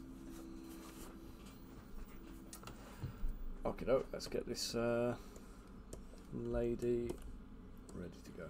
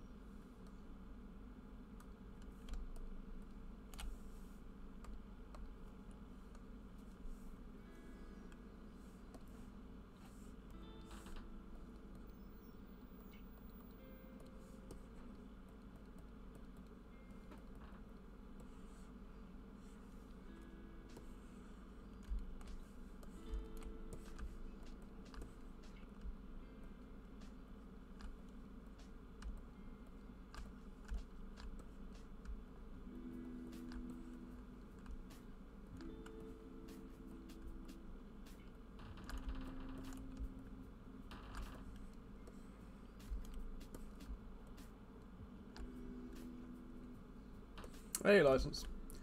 Um. Yeah. So usually, so there's two. Right, there's. The answer is it depends. So, um, let's say nine out of ten times when I'm doing something like this that is uh, part of a set. So I don't know if I've showed you all the set on stream today, but this is this is the set these ones belong to. So I've I've used, I've made multiple different like armor pieces and clothing items on a standard T-pose model, and I find it's quite good for doing things where you need symmetry. Um, so things where I need symmetry, I'll tend to do them on a T-pose, but then what I'll do is I'll pose the model. Um, and then I'll do a sculpting pass over the model, so things like the muscles and stuff like that. If I need to um, like amend like the forms and the shapes and stuff. I do that after it's been posed. uh, folds in the cloth I tend to do after posing to make sure that they're you know appropriate and they look right. Um, things like uh, billowing cloth and asymmetrical details I can do them afterwards. So things like the skirt here, for example, on her.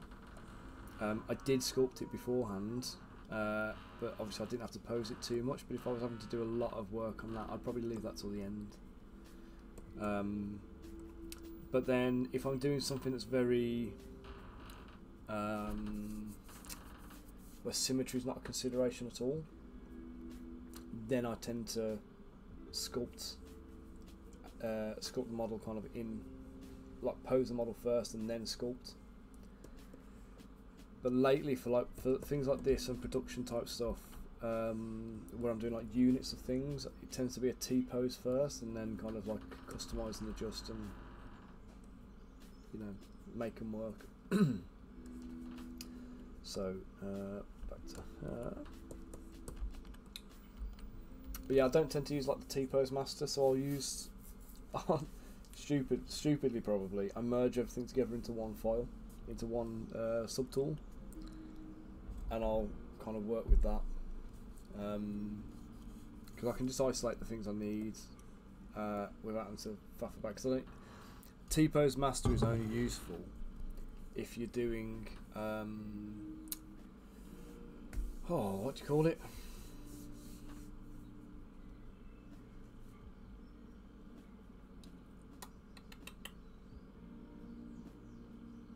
So I was just I was just uh, kind of thrown a little bit then. Thank you to Cas uh, Caxor. I was going to abbreviate to Caxor. Thank you to Caxor for the follow on uh, on Twitch. So I, was, I just read the full the full name here, and I was trying to figure it out, and it just completely threw me. So apologies, I'm shortening it down. um, lost my train of thought now. What was I saying?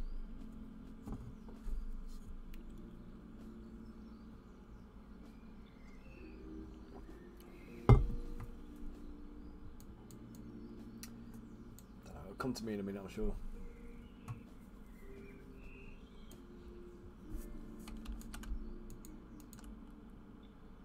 Oh, yeah.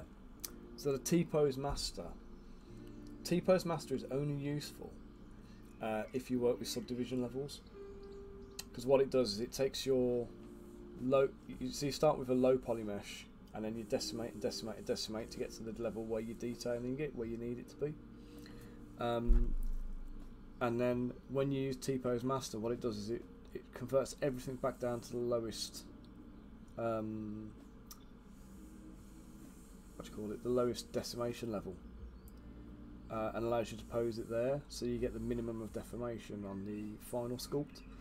But because I don't work in uh, in that manner, everything I do is um, Dynamesh and uh, Sculptris mode.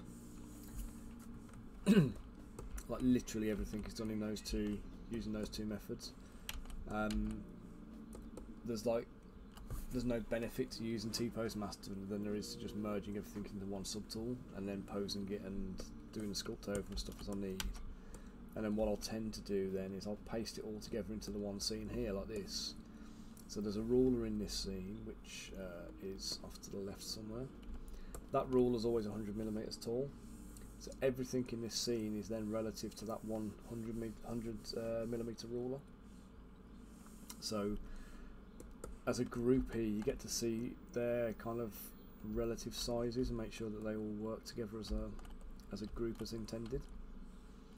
And the main thing I'm looking for, I don't want anyone's head to look too small or too big. So when you look at them as a set, it doesn't matter that some are bigger and some are smaller than others. That's fine. That's that's completely intentional as well. I've, I've done that by design.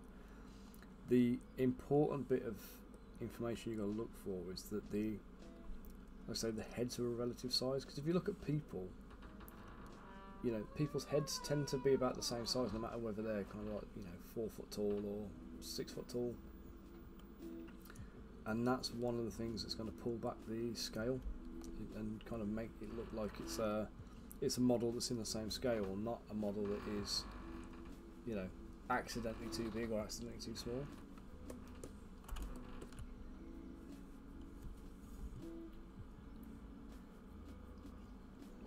and then when I bring it when I bring that model into this scene, I dynamesh the entire thing, so that whole model gets dynameshed, and then I'll do a little sculpting pass, filling in any holes and correcting any details that need correcting, last minute ones.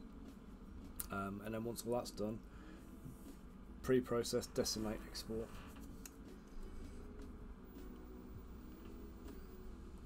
Speaking of actually, I need to speaking of export, I need to get the um, the swap bases made up, uh, supported up. Sorry. Right, so I think I'm virtually on the posing now.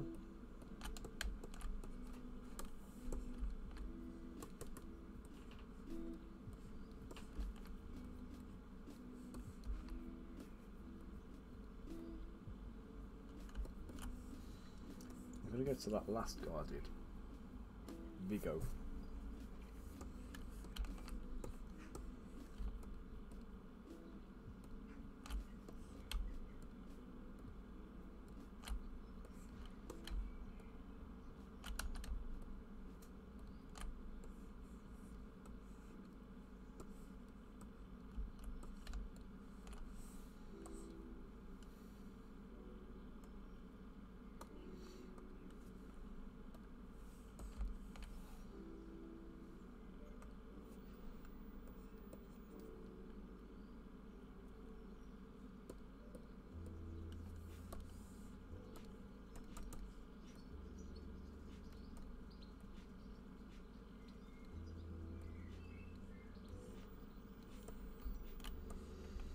So he was much, much, much bigger than her.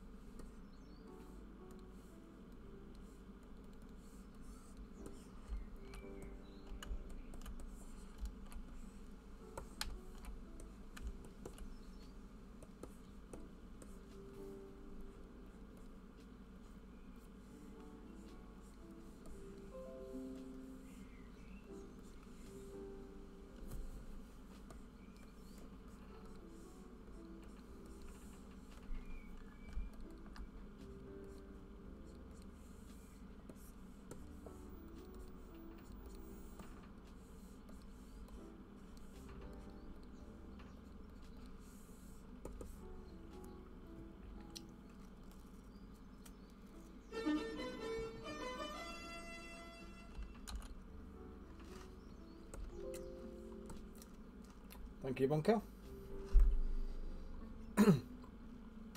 You've got a camera here watching me. Did you wait for me to put a biscuit in my mouth before you press that?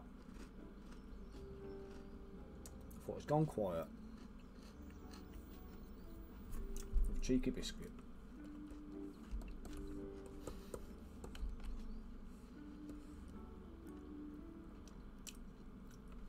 Now I'm on the internet talking with my mouth full.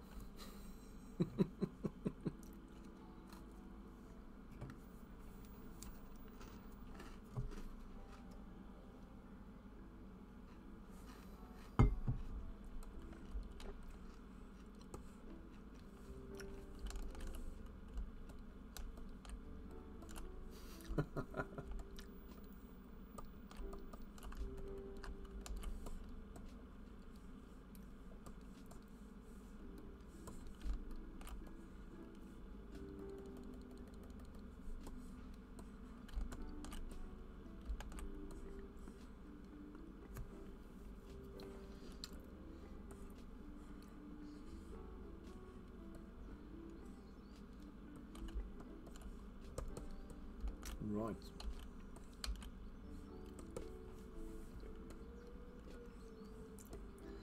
Let's pose our arms now. Let's merge all the bits together. Apart from the bow and the hands. I want to keep them separate still. Oh, and the ruler. The ruler can do one.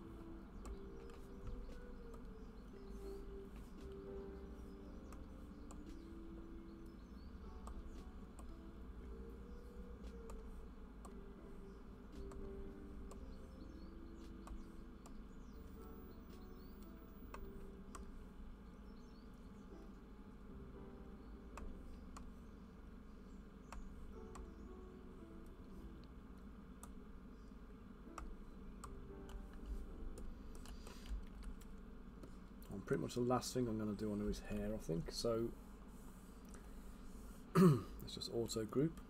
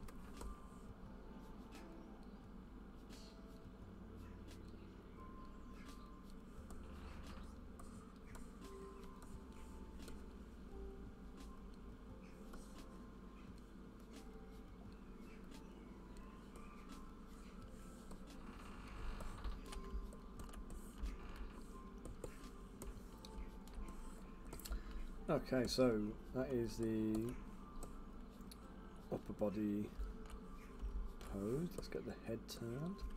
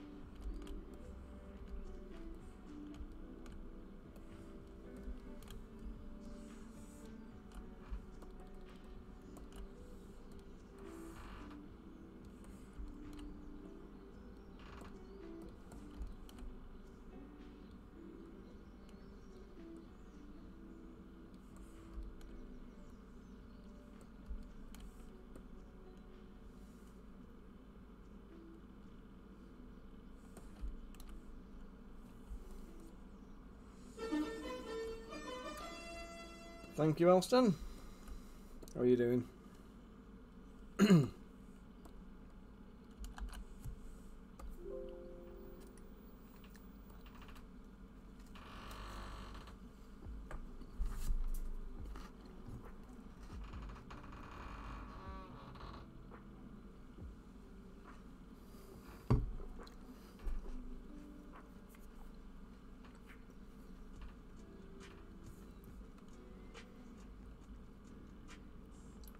Trying to avoid falling asleep at your desk. Mate, I know that one. Do you know how many times I've nearly, I, I felt like I'm nodding off here when I'm got my little lo-fi beats going on in the background and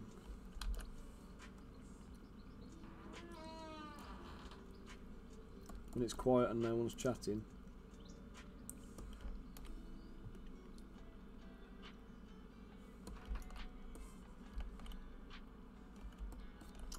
One, man.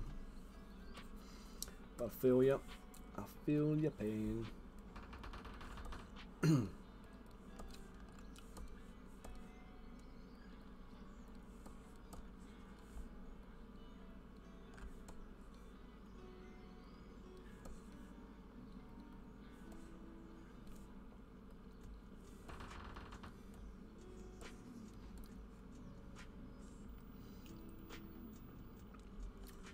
Oh yeah, totally.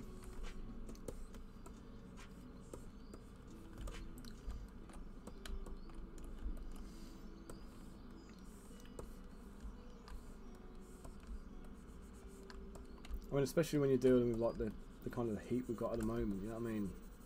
Who, who's got the uh, incentive to work in this heat after you've eaten?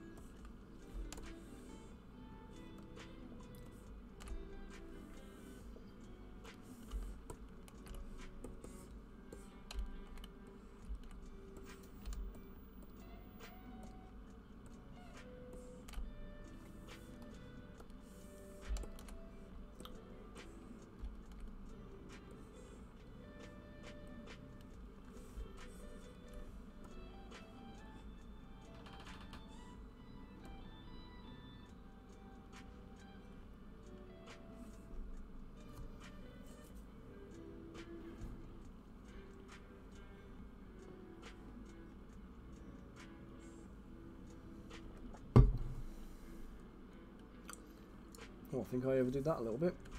It's just gone from like 3 million polys to 18 million. Let's just change that resolution a bit. Let's try 600. So the facial detail is what I'm looking for. I want to make sure this level of sharpness I've got here kind of stays. That's perfect. And the stuff that's elsewhere on the body is a little bit more a bit more pixelated. Fine because you can't see it in most places.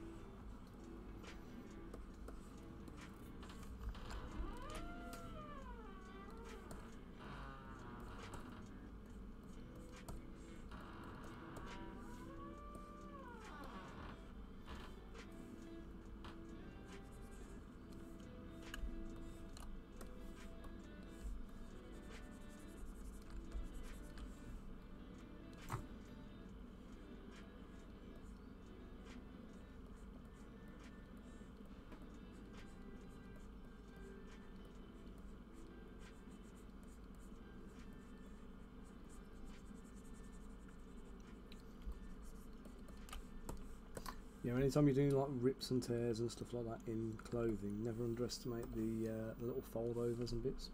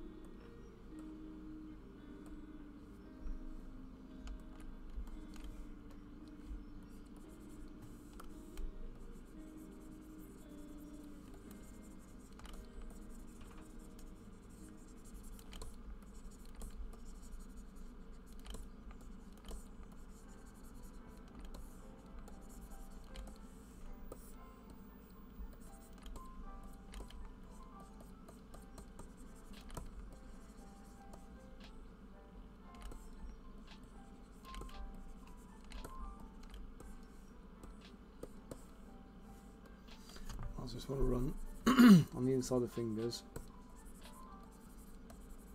We'll run a little bit of an inflation just to make sure we're dealing with any, any gaps and cutting them off. I think this hammer okay with, but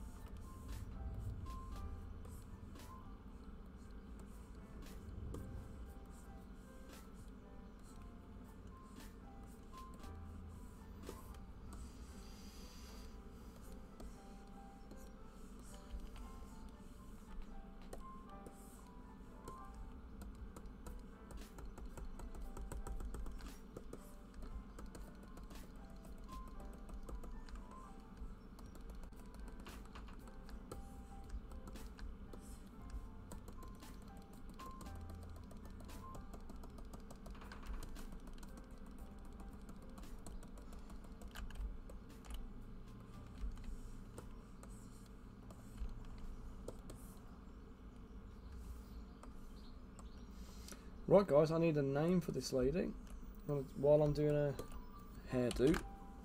If you guys want to uh, think of some names and chuck them into the chat, let's see what she's going to be called.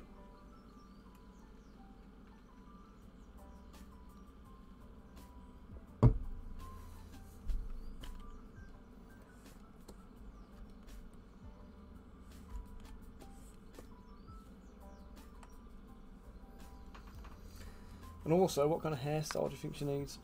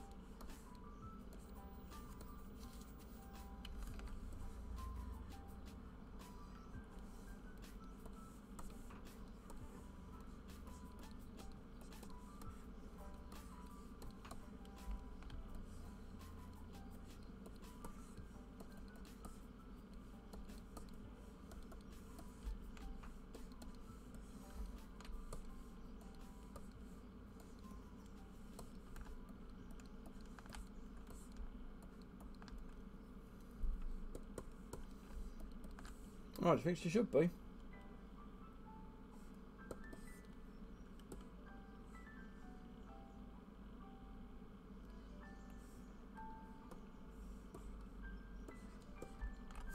Think she's better with a shaved head or uh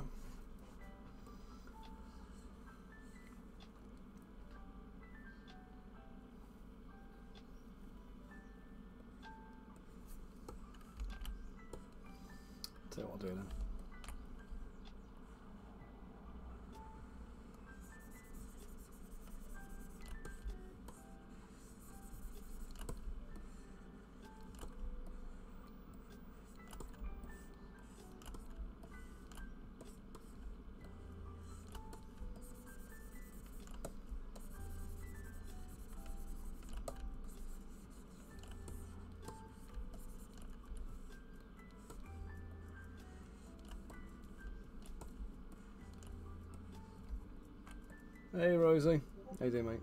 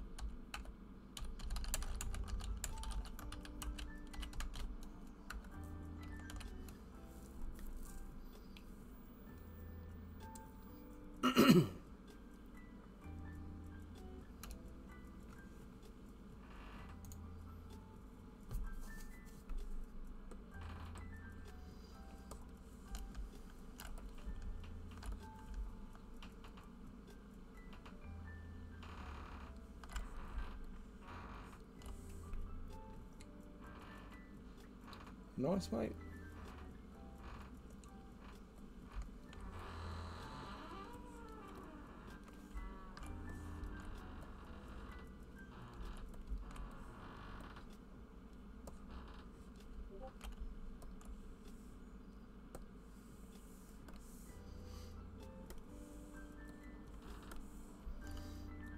Let's see how this looks.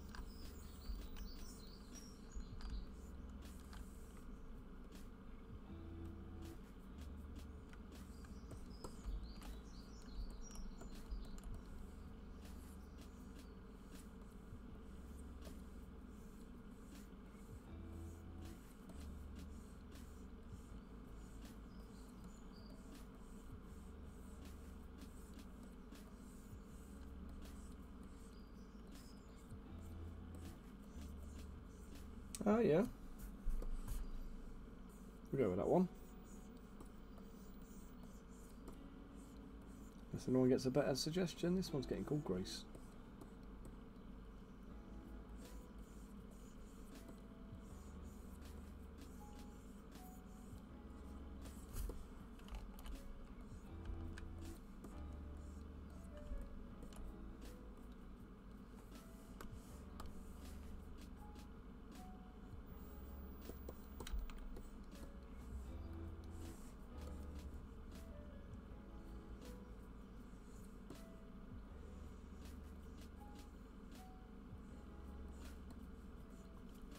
One second.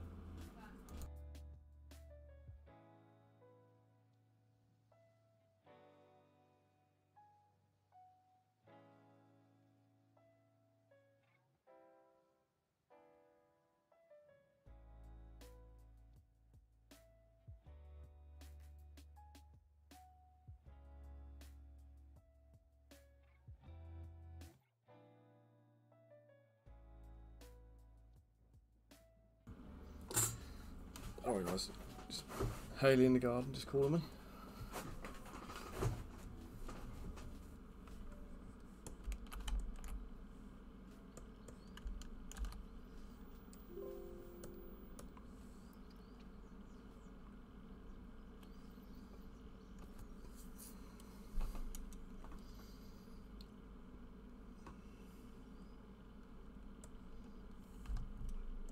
What's that one, Rosa?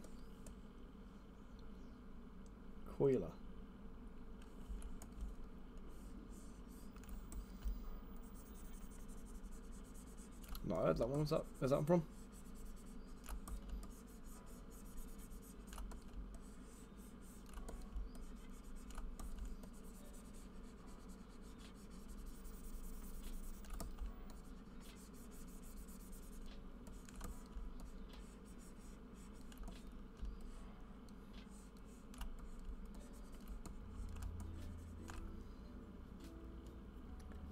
You've been dealing with coil packs today, mate.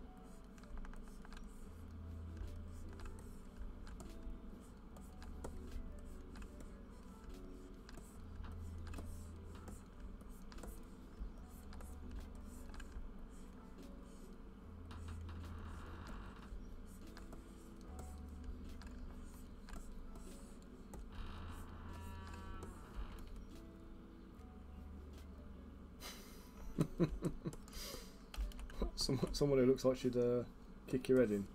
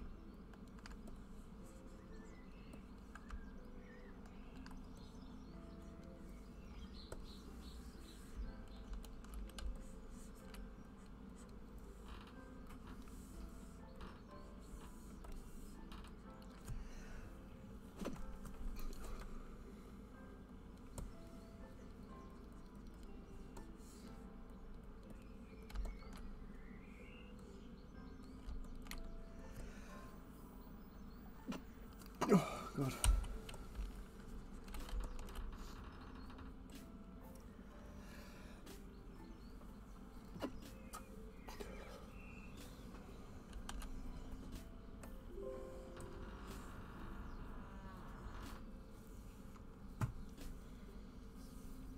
Right now I know from doing the last one that the female models are massively oversized compared to the male ones. Excuse me. Sneezes, man. Sorry. yeah, the female models, the base model is actually a lot larger relatively to the male um, foil, so I'm going to have to add the ruler back in.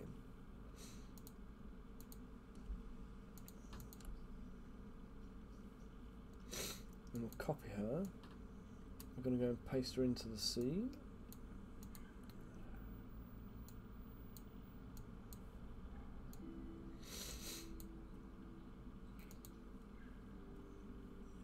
As you see, she's massive. But then what we're going to do is going to move over here.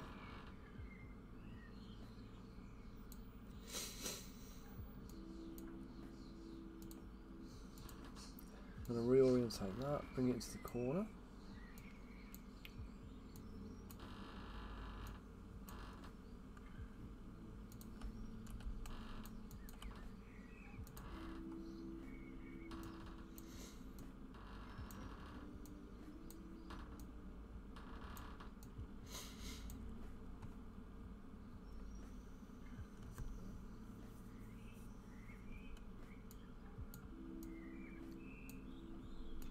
Do you know what, mate? I don't think I actually have given them daggers.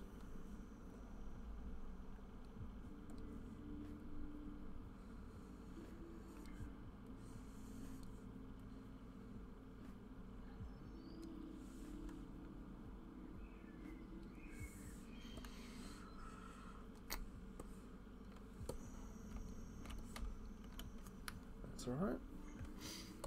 Okay, so just delete that.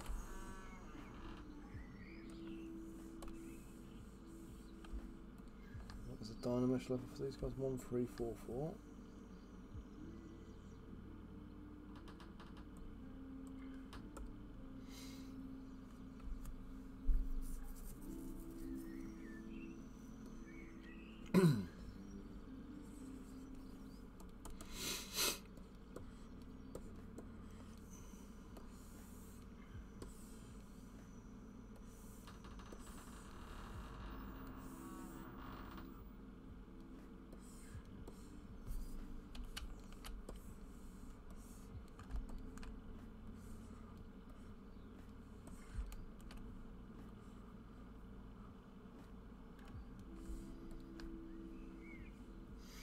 You know she reminds me of? You know, uh, Furiosa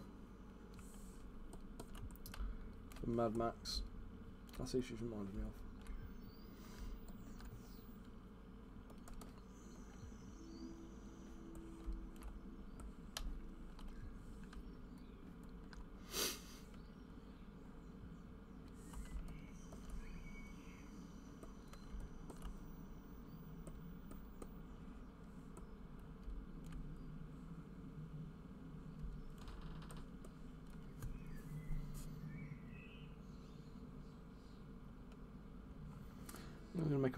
Bit taller.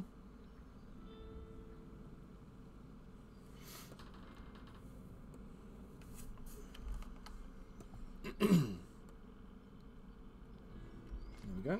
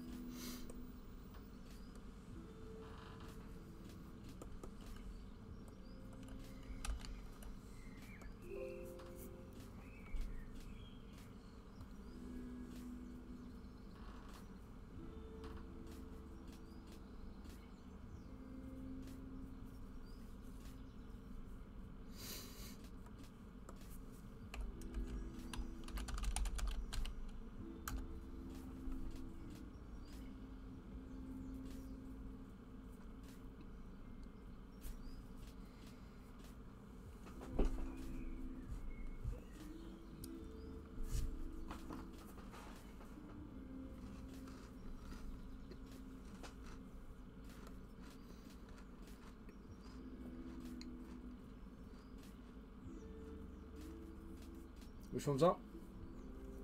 Oh yeah, yeah, yeah. Sorry, the uh, this one.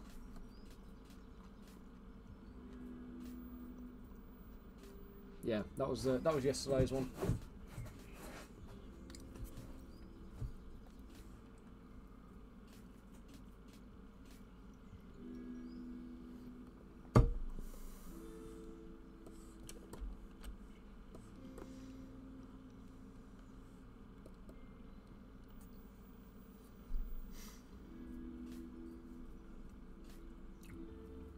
Okay, now we need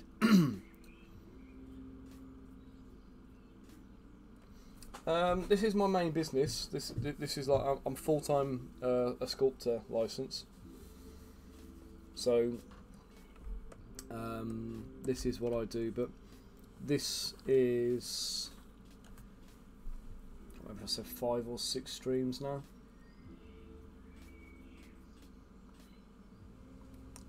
It's like five or six days work on all of these. So that's typically what I'd be looking to put into the the monthly releases. And then other stuff I'll be working on is like projects, uh, like Kickstarters I've got working on. Doing Crystal Collapse with Max and Woodpecker. That's um, that's a nice little project that's going to start coming together soon. We've got the uh, commission work I do.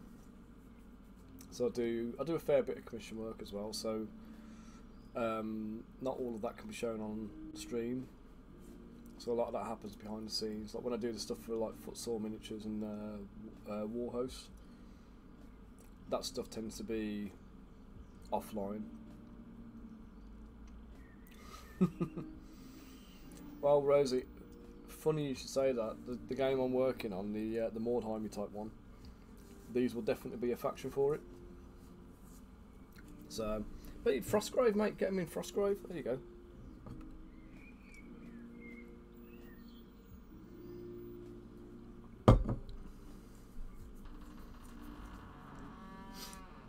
Oh, here's an idea. Shall I give a? Uh, shall I do a little bandit mage?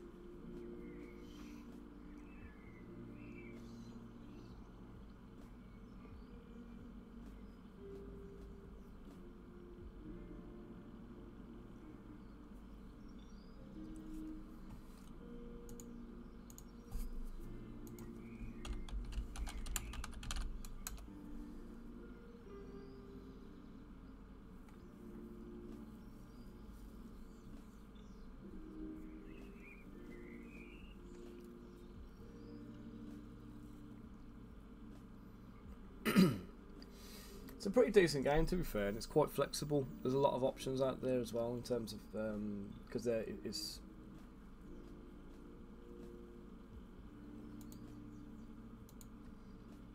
It's quite uh, what do you call it, like miniature agnostic, so you can just use whatever you want for it, really.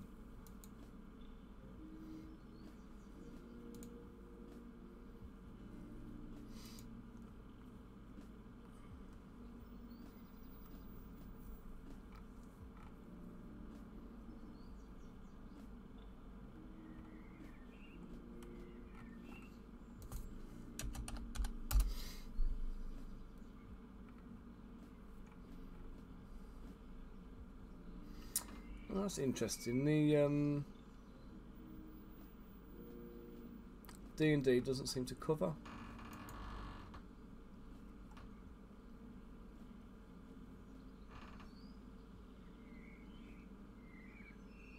Bandit Mage.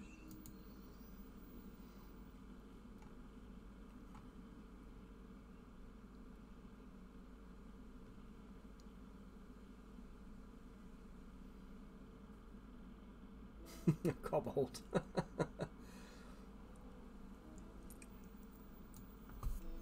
what as the mage?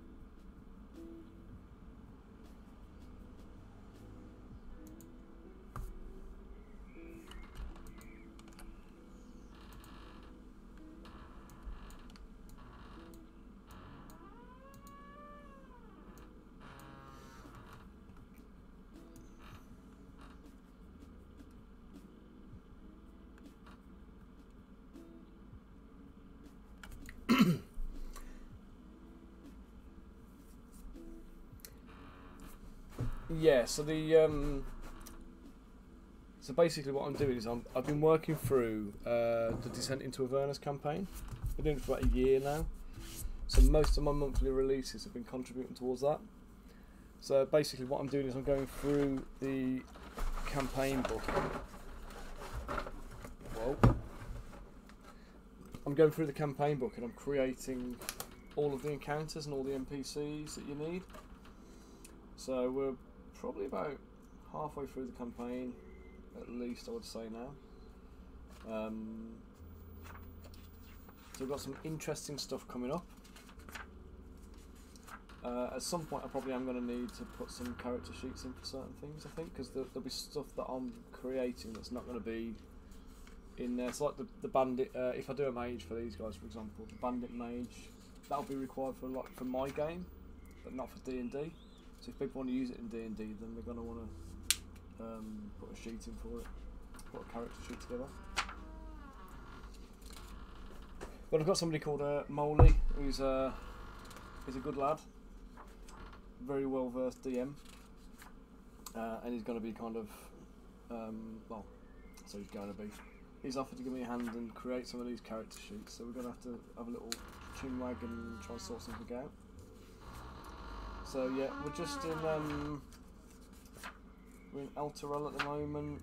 Uh, just trying to see where we're up to. Can't remember actually what page we got to on it, but.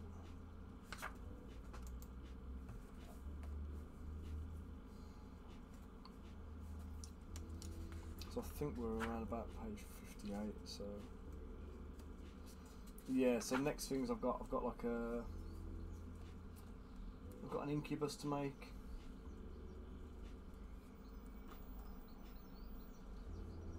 A couple of dwarven commoners. We've got a, uh, a mother with some um, twin boys and a bow and arrow.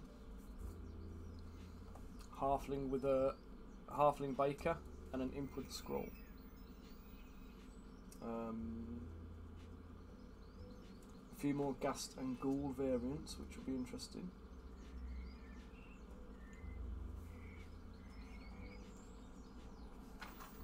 And then we've got uh, of rock, but it won't be a rock; it'll be a set of them, so maybe three to five. If you're not sure what they are, it's like a dark crystal, the big bird guys kind of thing, similar to that. Another bunch of zombies, which keys into an undead release I'm working on. Um,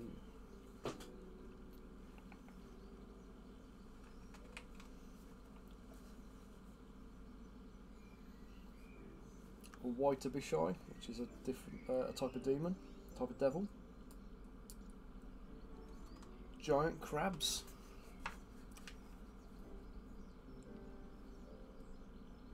Then we got that bandit captain. Oh, that's what I need to do actually next. Before I do this mage, I need to do some uh, insane bandits. So what I'm going to do... So these are bandits that are almost ghoulish.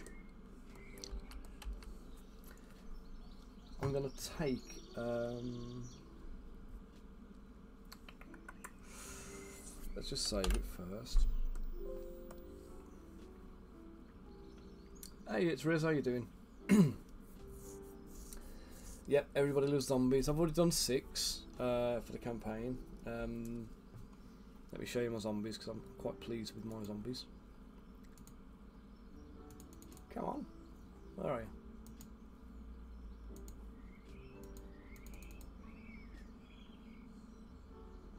Ah,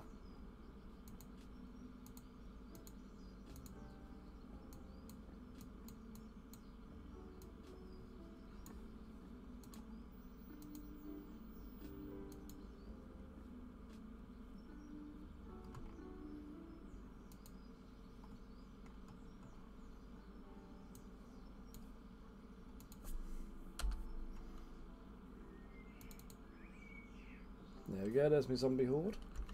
We got the uh, first female zombie. Got a second one with all the guts hanging out. Half a face missing.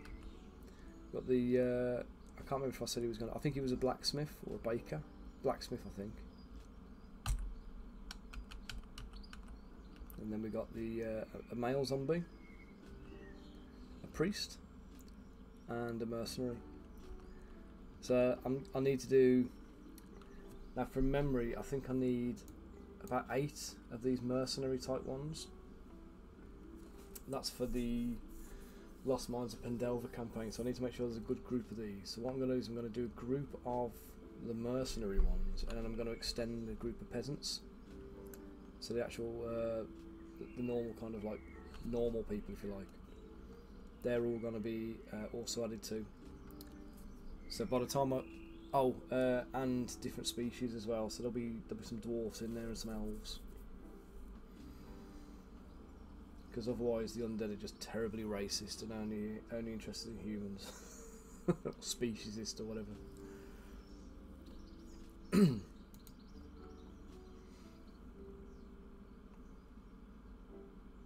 uh, no, that's just um, it's just uh,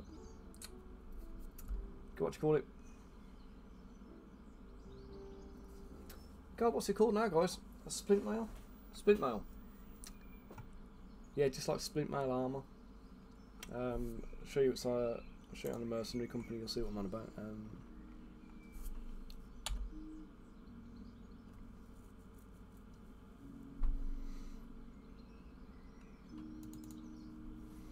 there you go. So these are my, these are my like flaming fist mercenary guys.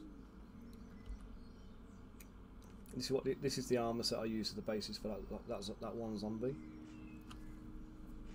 So it's just splint it's just, obviously it's just layered up and layered up. It's not dissimilar to samurai armor, but the intention with this is it's leather with like little metal plates bolted to it.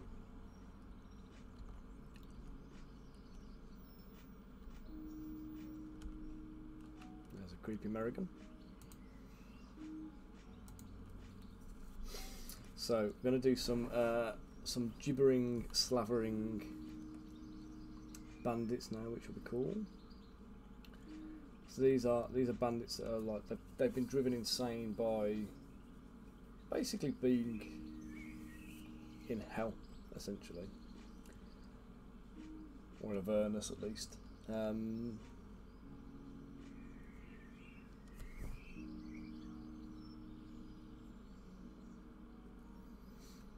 So I'm going to take one of these guys. Let's leave the armor on.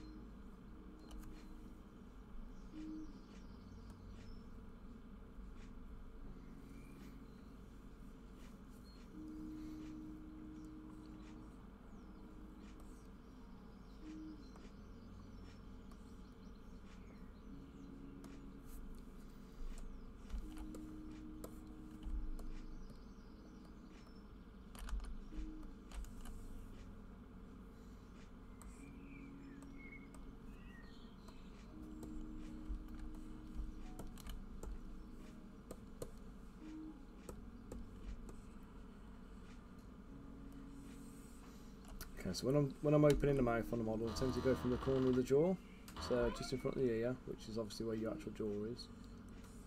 Mask down uh, across to the mouth line, and then invert my mask. And I want the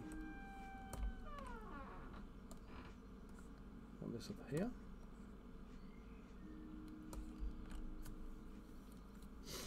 Now obviously that looks uh, bizarre because his mouth is a solid piece at the moment, but sort that out.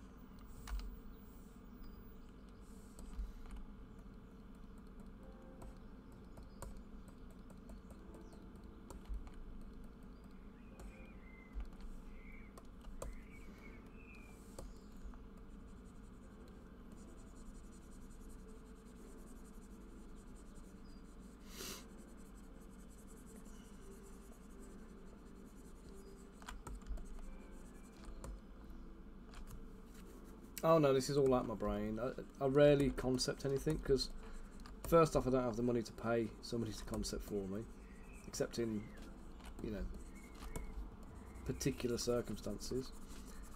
So, um, you know, not not being able to pay anybody, um, I just do it myself. And then obviously, if I'm going to sit and uh, spend time drawing, I might as well be spending time sculpting instead. So, I, I concept in 3D on the fly. So occasionally I have like I'll have reference images on my screen or whatever, but you know, never a never a, a kind of a fixed concept. So like for these guys, I, have I've kind of gone into the build like knowing I'm making uh, bandits, um, and that's pretty much it really. I haven't really kind of I haven't got a, a brief beyond that. Five human bandits I think is the the total of what I need. So I've gone above and beyond and I've added to them to kind of give a little bit more variety. Because I know people use these as like, we'll use them as like Frostgrave warbands and stuff. So in the interest of kind of making sure there's a good selection of thematically similar models, that's kind of where I've gone if you like. But yeah, all all out of my own brain, just sit there and just, you know, form an idea of what I think a bandit looks like um, and then make it happen is kind of how it works.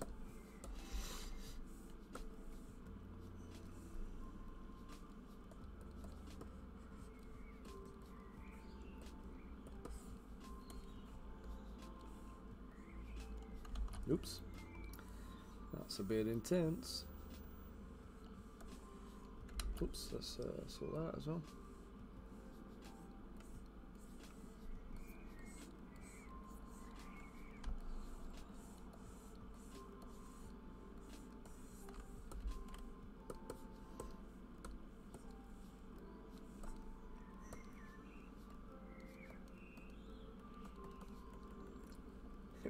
Where's the Stetson and drives a Am?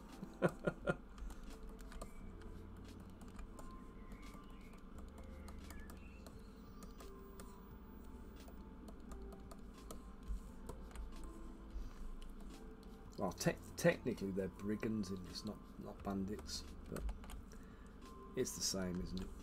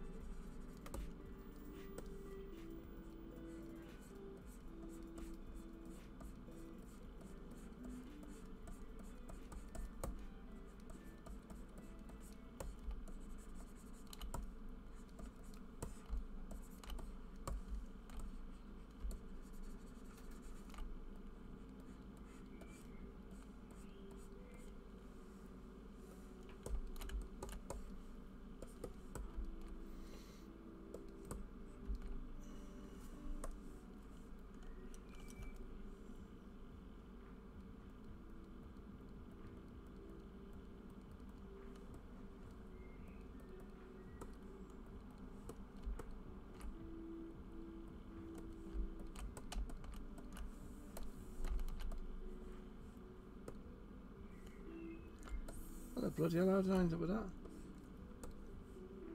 Did I not notice the legs were there the whole time?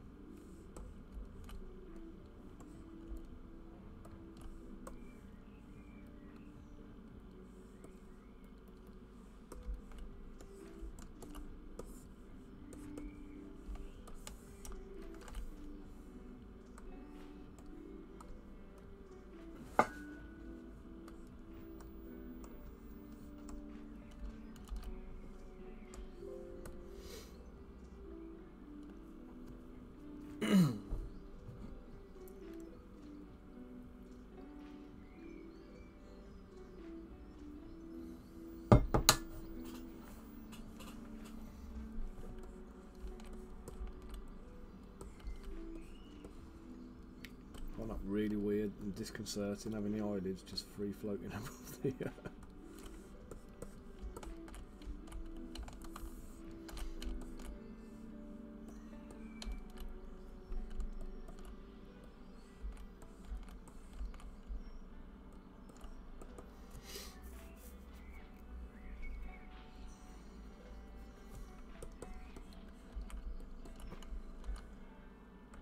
save it.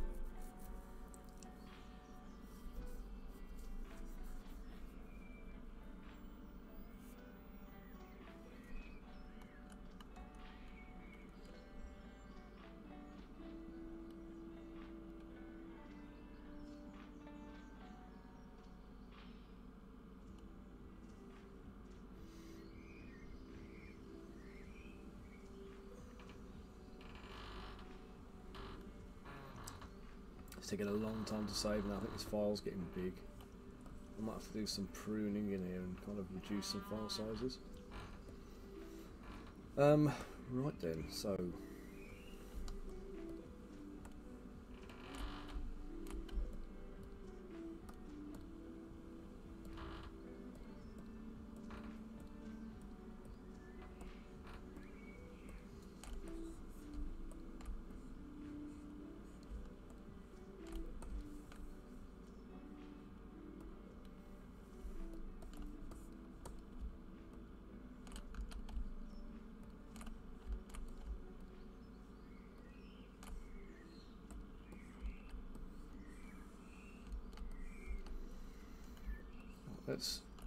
make this guy more sinewy, more scrawny.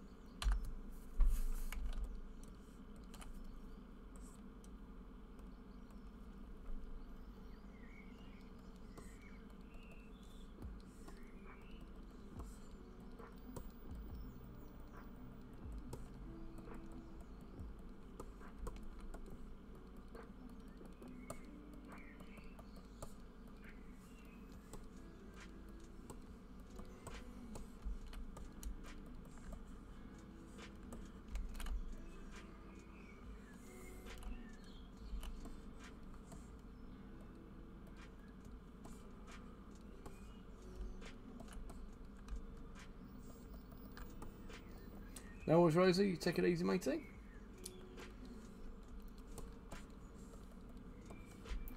I'll just square you up with a set of these when you're done. When they're done, rather.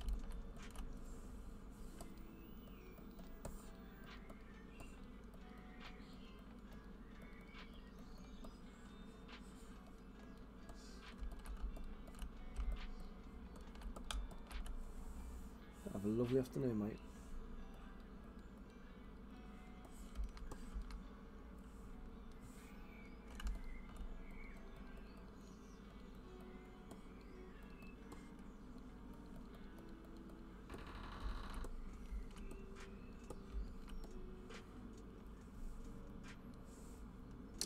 Yeah, I'll, yeah, I'll, I'll sort you out. Just keep reminding me. Don't let me forget. You're not online.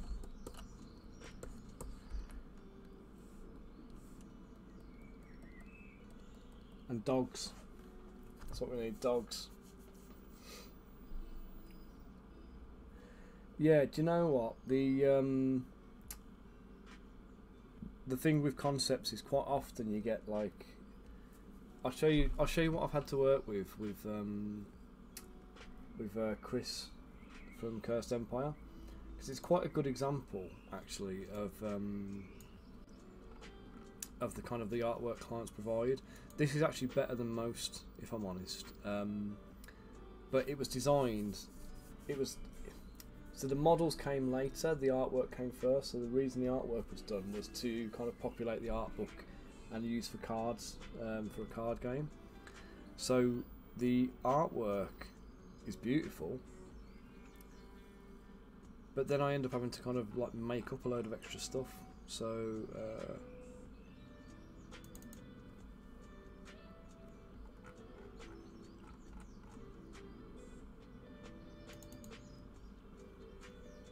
like here, this guy for example.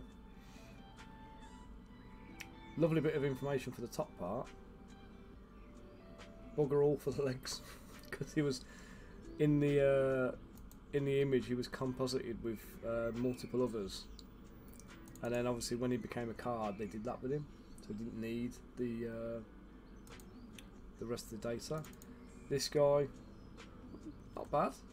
He's got pretty much all the information I need. Back leg's missing, obviously, but uh, and then this guy, again, similar kind of thing, but we're missing the in leg information. So the feet, I can kind of figure out. What kind of stuff is it you're after? Is it miniatures or are you looking for artwork?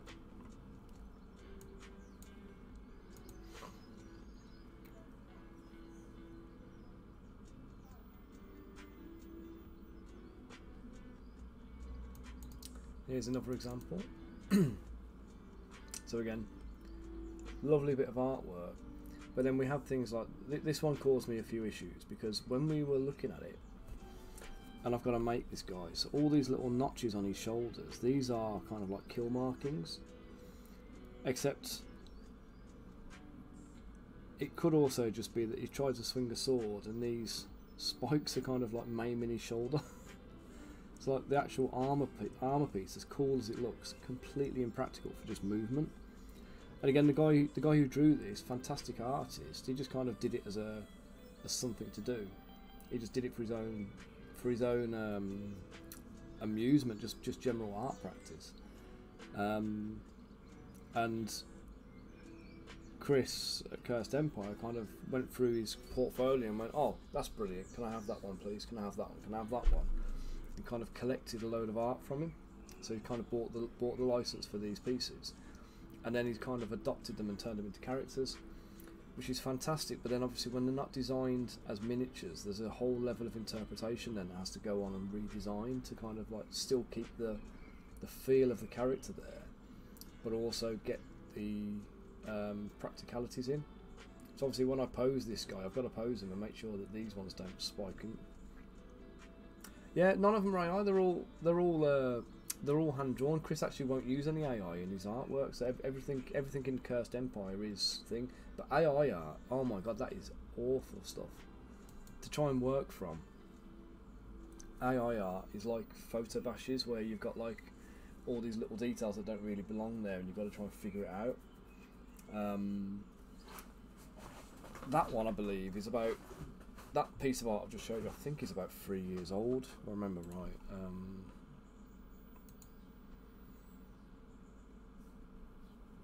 there you go, 20, 2021. September 21, that was mine.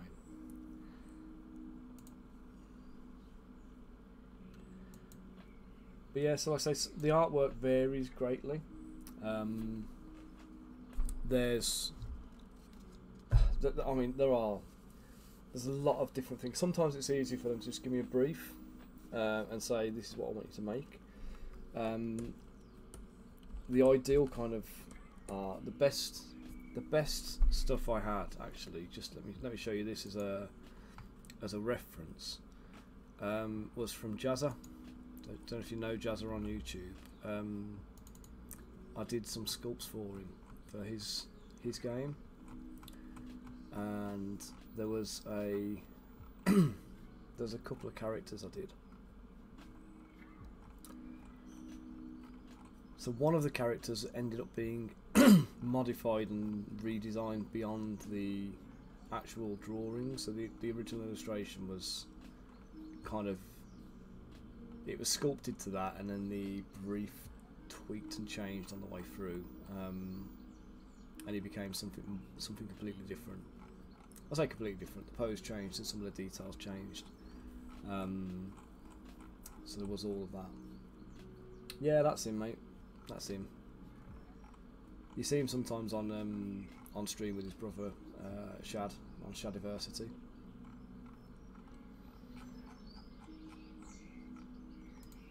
So this this was the this was the character sketch he gave me for this one character. This is the one that changed a lot. So this was the the character brief. So it had a lot a lot of different things to um, to kind of get working on. And then what we ended up with was. Uh,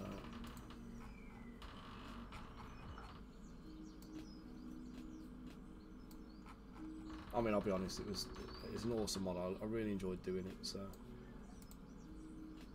what I ended up with was this. So that was the sculpt I did for him. So obviously you can see he's got like you know from the from the original concept to the um, final character, you can kind of see it's in there. But you can also see there's a lot of tweaks and changes. Like the, the fist ended up getting made about five times bigger than it was originally. so and I had to change. He originally started out a lot smaller, and he ended up having to be become bigger. So he like like he grew up, a, like he went from being a kid to being a teenager. Um, but yeah, you know, it was a, it was a good design. The, the first one though is the one I'm looking for. Let me just try and find it because he he sent me. This is the second sculpt I did, so somebody had already started this one, and uh, I had to come and bail him out because it was it was half finished and not usable. Um, so then he sent me.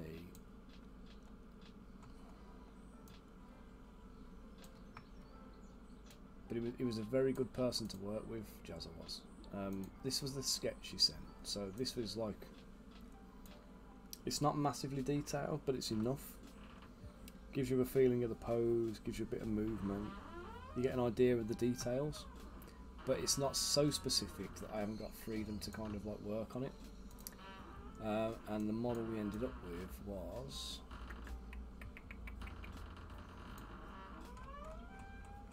find that.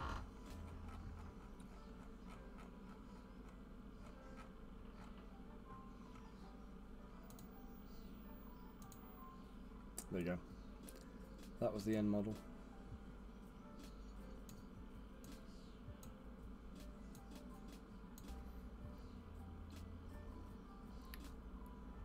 So you can see the certain details changed, certain things were a little bit different. But you can see how the kind of the initial sketch has kind of come through. But the reason this was good is because the front and the back married up. Um, I think what he did was he basically taken this image first, drew this one first, and then flipped it horizontally, and then using the silhouette redrew and redesigned the, the back of the model. Um, so you get a kind of a good idea of what's going on in the back.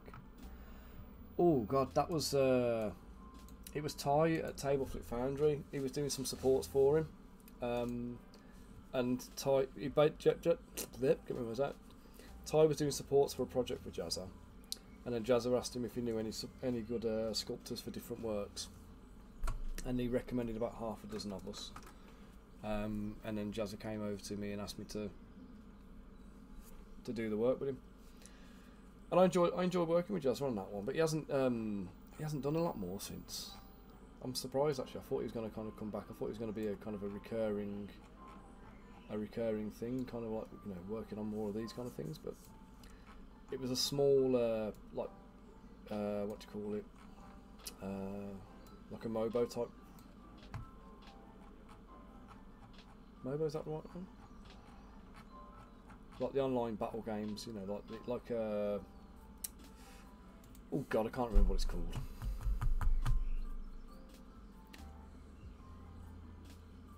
Like Raid and League of Legends and stuff like that. It's like a, a tabletop version of those those kind of games. Um, but yeah, I said the reason I was showing you that was like obviously, I said the artwork he provided, it had enough information front and back. Hey, Zanderfell, how you doing? I don't know. They didn't need him to keep warm, and they like the look of a cape because a cape's cool. Good point, though. Gives you a good bit of movement, doesn't it? When you're you know if you're uh, prancing around, it makes it a bit flouncy. But I think I think the world would be a better place if people wore more capes. If I'm honest.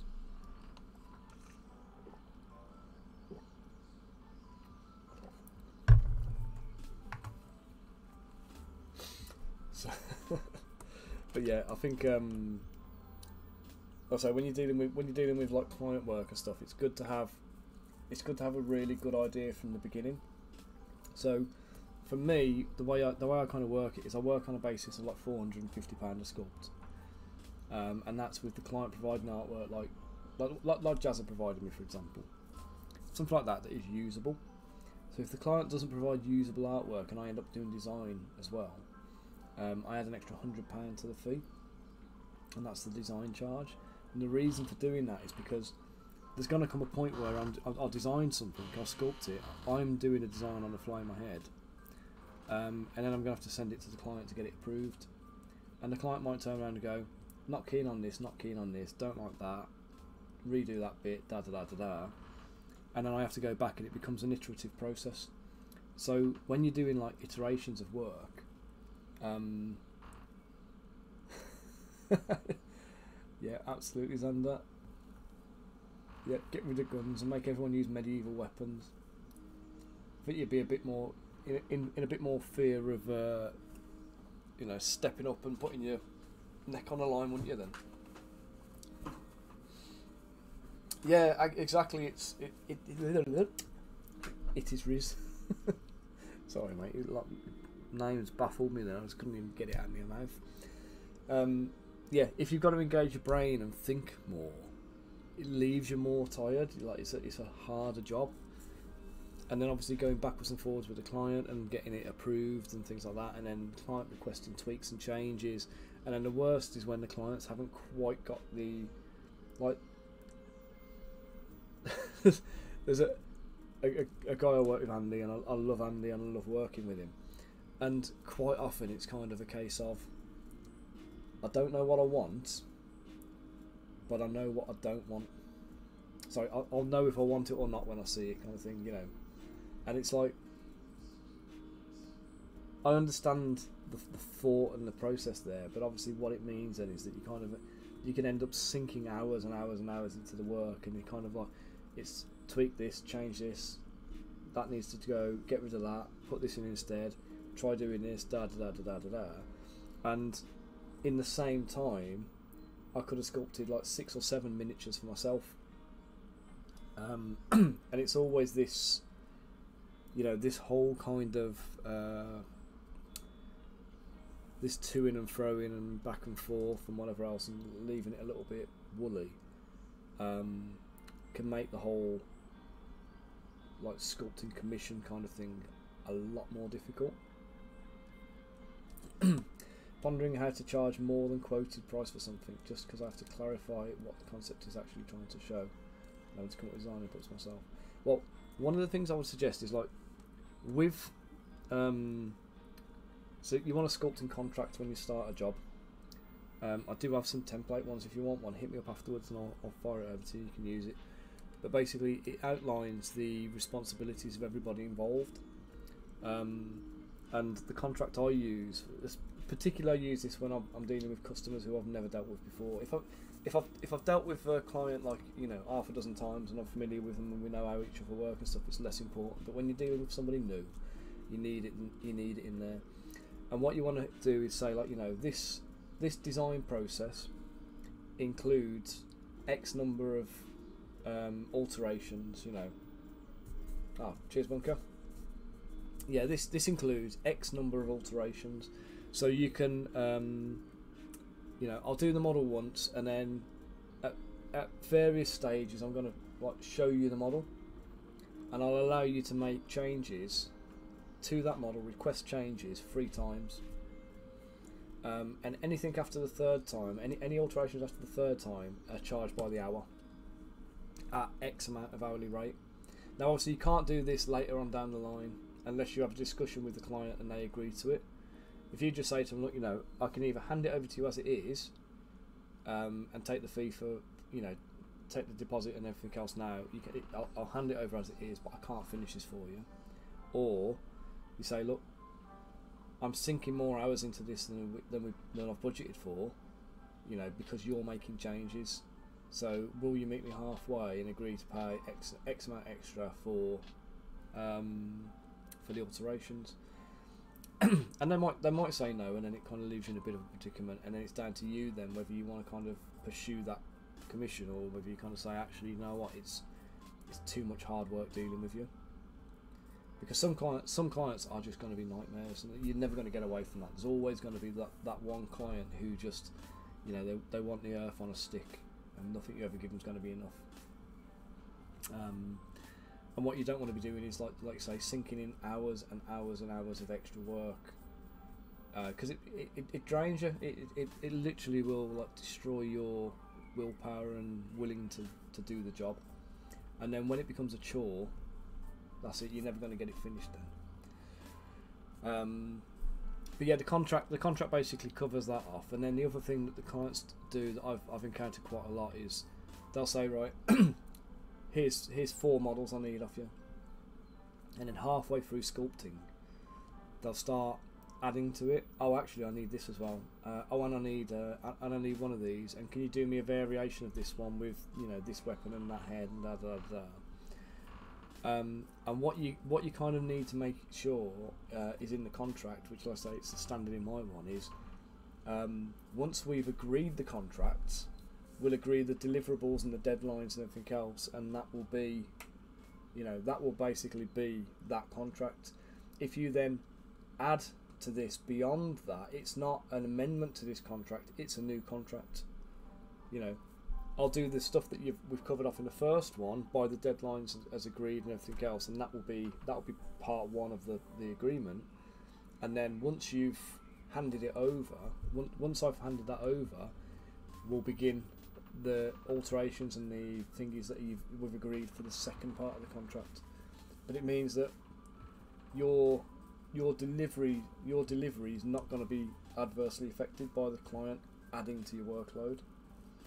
So it's uh, it's one of the things you've always got to be careful of because I know, like I, I kind of allow in my calendar I've got like I've got like days put aside for client work and I've got stuff uh, days put aside for like my stuff and admin work and various other things, and if one client pipes up and goes, actually what I need you to do is five times more work than we've already agreed, but I need it on the same deadline.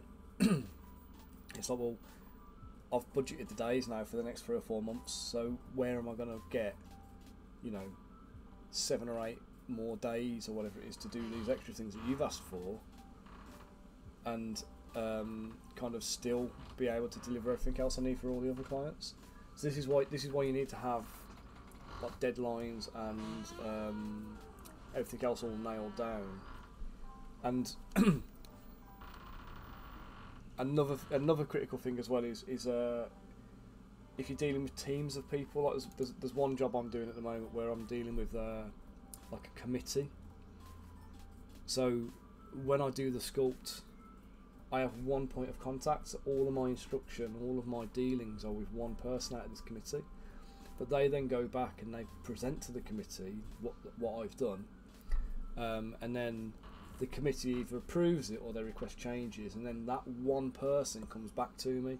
Because obviously the danger is I, I'm in contact with like multiple people in this uh, in this committee. Um, if I take instructions off different people, and the instructions vary from person to person, or this person asks for X, Y, and Z, where this person asks for A, B, and C, and I end up delivering both and then kind of billing them for it, they ain't going to be happy about that. So they have to confirm between themselves what they've got and come back to you with one single source of contact.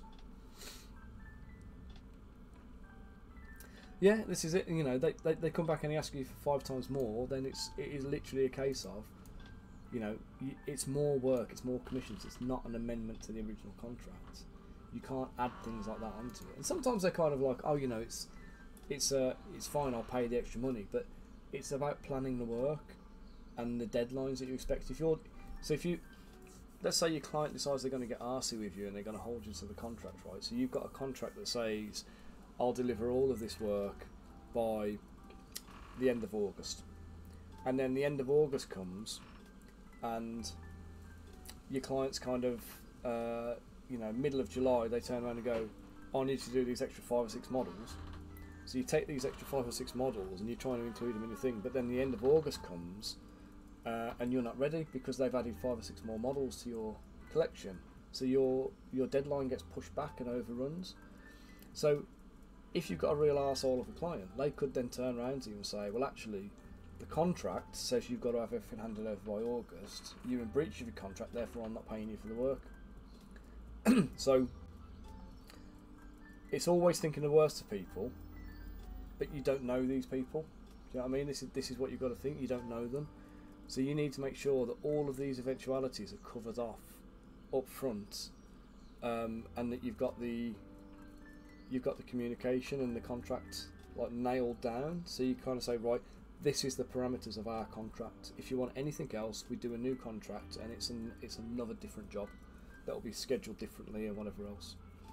Um, and then the other thing I've spoke about a few times is like you'll have a lot of issues when um, not issues. You have a lot of occurrences where you have a, a conversation with people, even if they're your mates, even if they're friends, even if you perceive them to be friends, whether they are or not. After you've had the conversation and you've taken a brief from them and you agree what you're doing, you send them an email or a WhatsApp message or something um, some form of written communication that says, as per our conversation, these are my takeaway points. Dot dot dot dot. Bang bang bang bang. And just bullet point out everything. Right. It's just all of the all of the agreement points you've made. Get them all uh, discussed.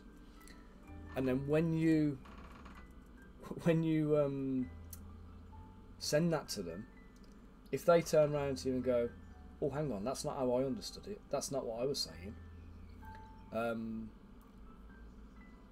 you know, you kind of say, well, okay, what is your understanding of it? And then they have an opportunity to kind of correct correct your understanding in writing. Um, and that that saves the situations that. And I don't know if you've ever had this at work. If you if you take this to your day job as well, absolutely use this in every every aspect of life. If you've if have you ever been in a meeting where somebody's given you stuff to do, and then you've gone away and done it, and then later on they've pulled a flanker on you and they've gone, well, I never asked him to do that. Or actually, what I asked you to do was this. And, you know, they're, they're throwing you under the bus because it, it saves their ass. And because you've sent them an email saying, right, this is what you asked me to do, am I correct? Yes. Okay?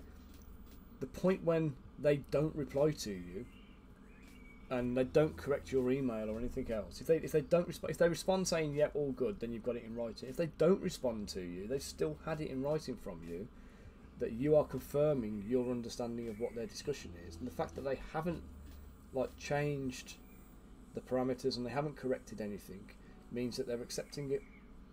So, in the interest of arse covering in all aspects of life, always do that do you know what I mean? Does it make sense? I say I speak from I speak from first-hand experience because I've been burned with this.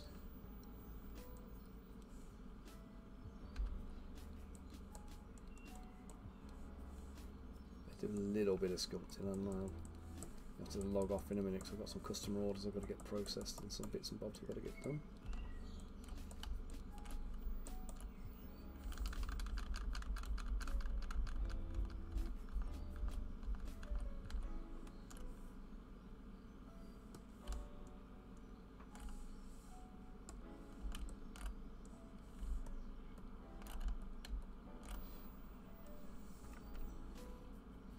Yeah, four hundred and fifty pounds for a mini.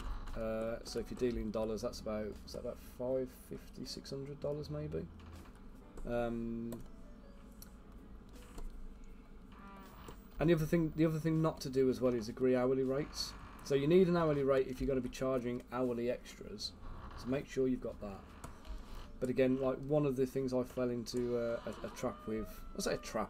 It was my own, my own naivety and kind of like you know failing here. Really, there's nobody else to blame for it. But the um, the thing I ended up doing was I ended up charging hourly. So again with with Chris at Cursed Empire, Um, you know, he's a mate. I've worked from worked with him a long time, uh, and I agreed an hourly rate for all the work, and it was all based on the amount of time it took me to do a model.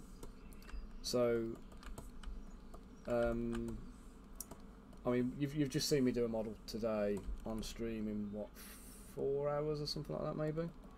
The female, um, the female crossbow woman. So I priced I priced it based on an hourly rate. So I'm kind of like right, okay, so uh, 450 pounds uh, for a model divided by 12 hours, which when I first started was kind of how long it took me to do one model. Um, you know, 450 pound divided by 12 hours gives us, you know, whatever. What's going on here? Oh.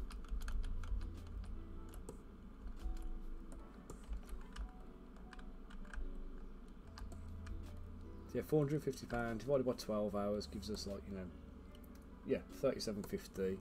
I'll knock a fiver off um, for mates rates. Let's call it thirty three pound an hour. So start off doing sculpts at thirty three pound an hour, um, and then skip forward to like three years down the line. I'm doing models that are, that are twice as good in terms of quality in four hours instead of 12 hours. Now, who loses out in that situation? Do you know what I mean? Like, I am now being penalised in that situation for being more effective, for being faster and better. Whereas actually, it should be the opposite entirely. Do you know what I mean? So, my my advice to anybody going into like freelance work is do not price hourly stuff. You know, if you're in if you're in a, an employment contract with somebody, then yeah, they're gonna price they're gonna give you an hourly rate. That's fine. If you're a freelancer, you do it by the job. Because trying to go back now and uh, have this conversation about, you know, you, I'm actually doing myself out of work. I think like I, I, worked out like if I'd have if I'd have charged full price for the all the sculpts I've done, I'd have, I'd have made I'd have ended up charging about an extra seven thousand uh, pounds for all the work I've done. So, um, yeah, it just does. It doesn't stack up at all. Do you know what I mean? So, it's uh, it's it's some difficult conversations having to be had then, and like you know, trying to figure out how to make it work for everybody because, you know, obviously, the client is getting a good deal and he knows it, um, and he's going to want to kind of keep that, and you know, he's not really going to want to pay four times the amount for the same things he's been getting.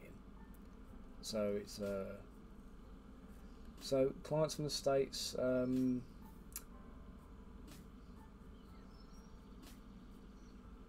yeah, so basically, what I always do, I invoice in pounds sterling. Um, so the clients will need to pay in pounds sterling.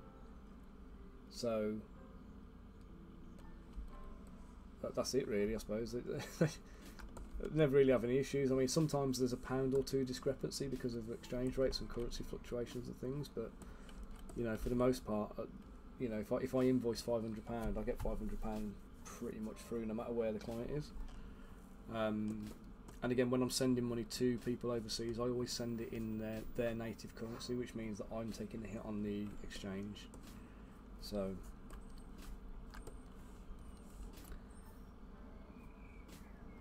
Yeah, I've seen a lot of that as well.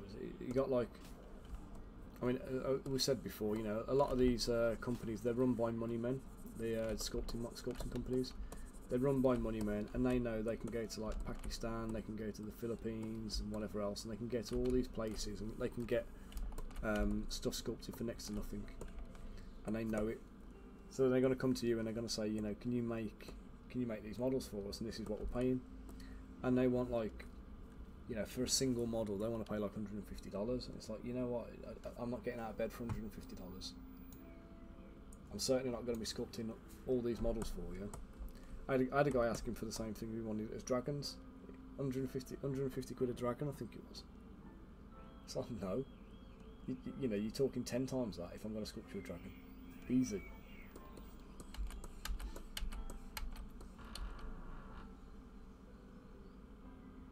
Uh, I I don't tend to use PayPal if I can help it. I try and I try and just use bank accounts. So I've got a business bank account with um, an IBAN number, so um, people can send me like use they can use my IBAN uh, to do uh, international transactions.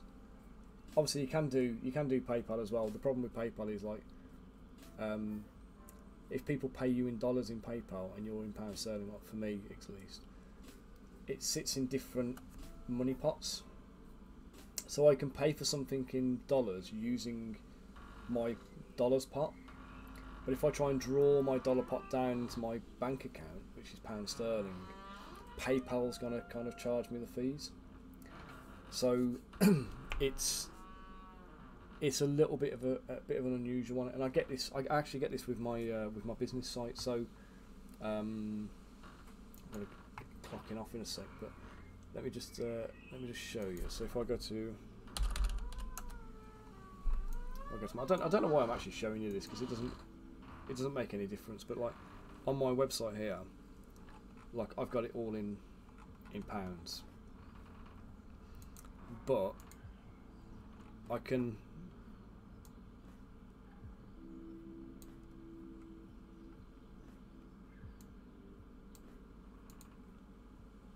so I can change it.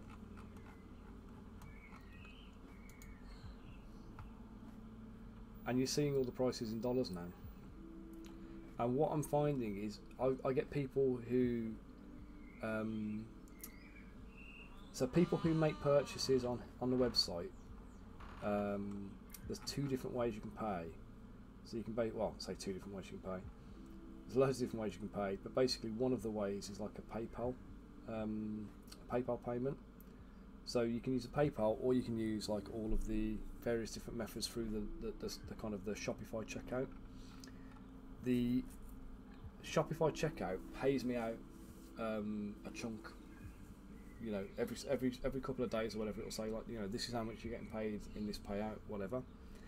Um, but sometimes people use the PayPal option, and the money goes, the money from that transaction will go straight into my PayPal account, not into um, not into the kind of the Shopify payment pot. So when the when the money goes straight into my PayPal account, I end up with you know a, a twenty five dollar order being paid for that lives into it lives in the PayPal account then, and when I draw that down, then I get hit with the extra fees. So that's that's where kind of like where that one kind of catches me out. For the most part, customer or uh, client orders, it doesn't matter because I'm I'm invoicing them and they're paying directly into my bank. But with customer orders through the website, it can it can be a thing. Um, then we've got like, you know, the uh, the normal, the normal. I say normal, the Shopify kind of payment method. Um, you know, no matter where they pay from in that, it'll give me pound sterling at the proper rate. So I think it converts at the point of sale.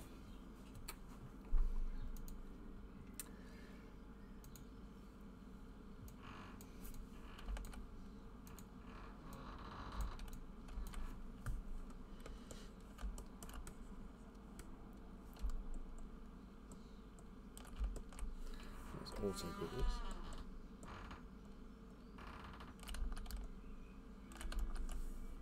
No.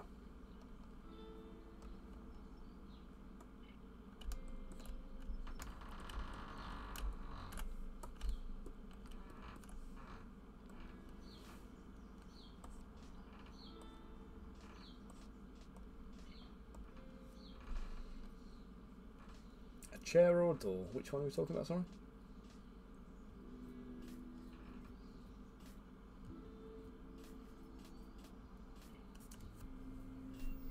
Oh, it's it's my door behind me. Sorry, it's quite warm out, and it's uh, it's been um, I've got 26 degrees in my office at the moment. It's uh, it's quite warm, so I've opened the door for ventilation.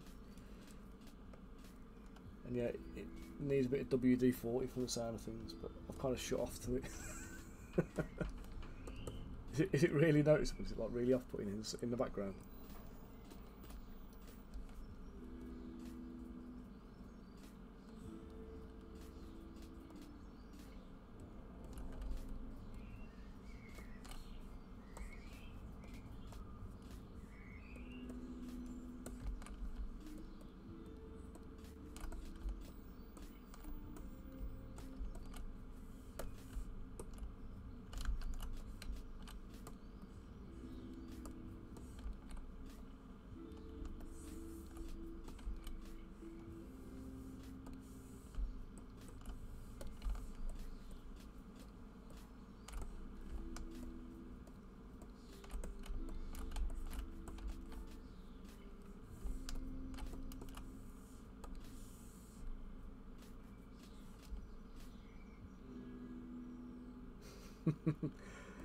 yeah, I'm not. I'm not moving.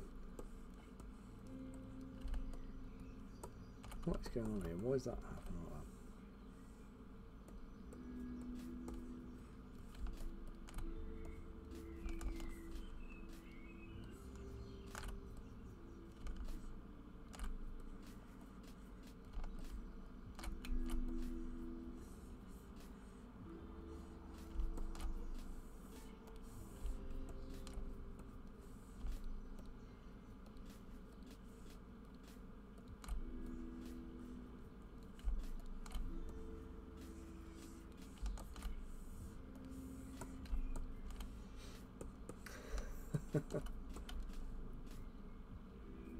Oh yeah, always. Uh, Let's say I'll merge the whole thing together like this, and this this will be how I pose it. This is this is basically what Transpose Master does for you, except when I'm working, I honestly I'm using Dynamesh and I'm using um, Sculptris Pro. So what I'm going to do is going to put um, that 600 resolution on there, I think, and then uh, groups on and Dynamesh the whole thing. Okay. That's it.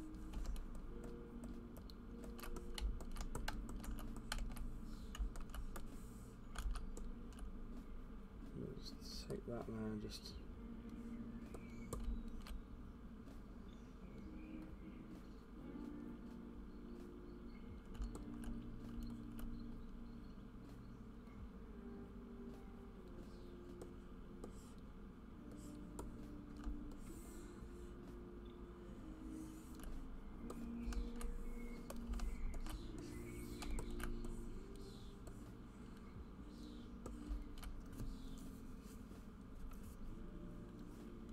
Trogus.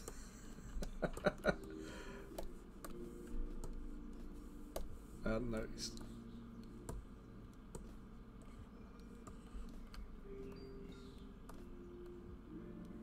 Who's that?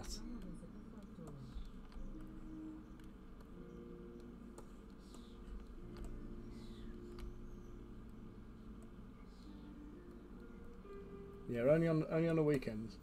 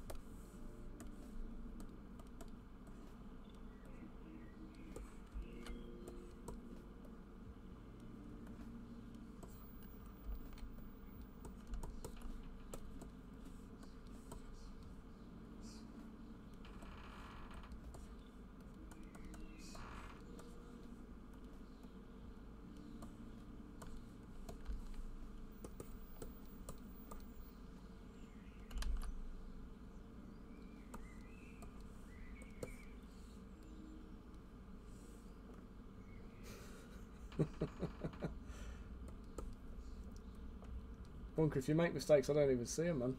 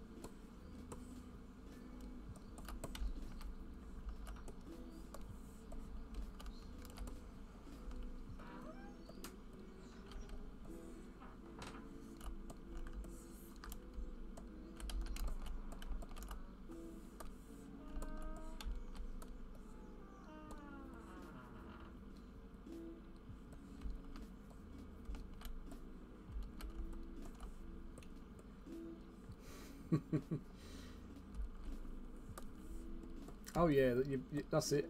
I think there was a there was a thing, isn't there, that if you is it if the last and first letters are in, are in the right place, everything else in the middle can be just complete garbage. As long as all the letters are present and the last and first letters in the right place, you can figure it out and read it without any trouble, really.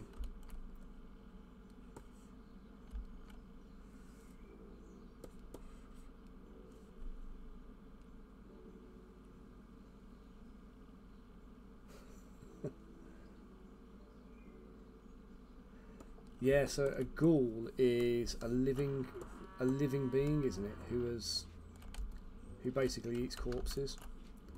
Um, so I believe there is a differentiation between them. So this is this is a ghoul rather than a, a zombie.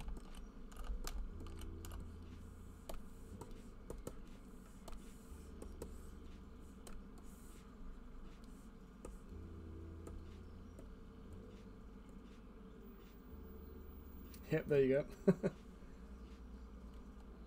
Couldn't believe I could actually understand what I was reading. The only important thing is that the first and last letter are in the right place.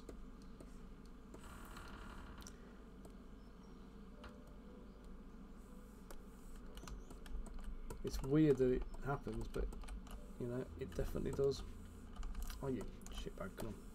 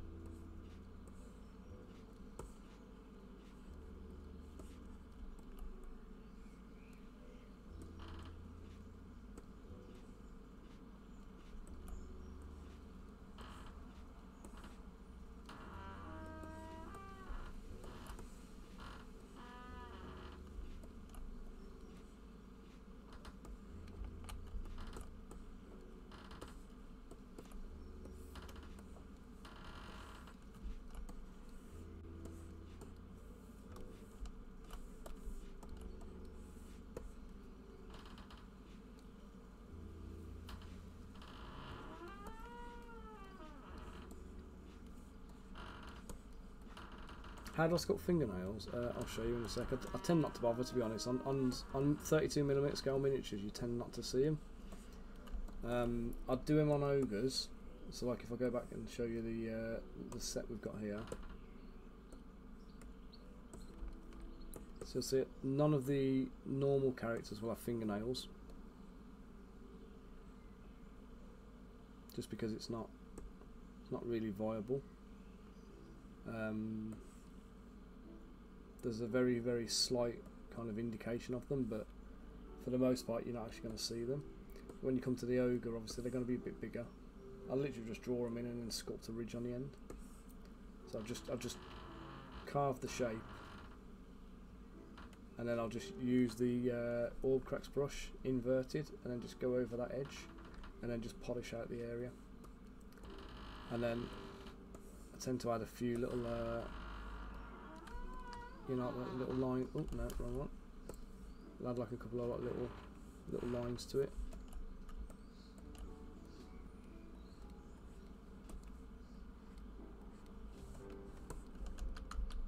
I won't do it on this one now because it's he's already done and exported.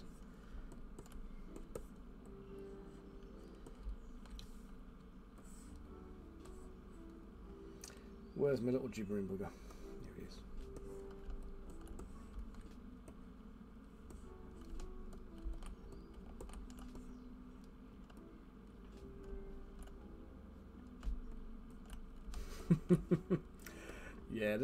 They're just detailed on a uh, to break up the massive like plain solid uh, like masses. Because obviously when you're dealing with miniatures, sometimes you want a little bit of texture to indicate something is what it is. And those little lines are quite good to indicate like bone and chitin and stuff like that. So you've got horns, you can put them on there. You doing fingernails, they go on.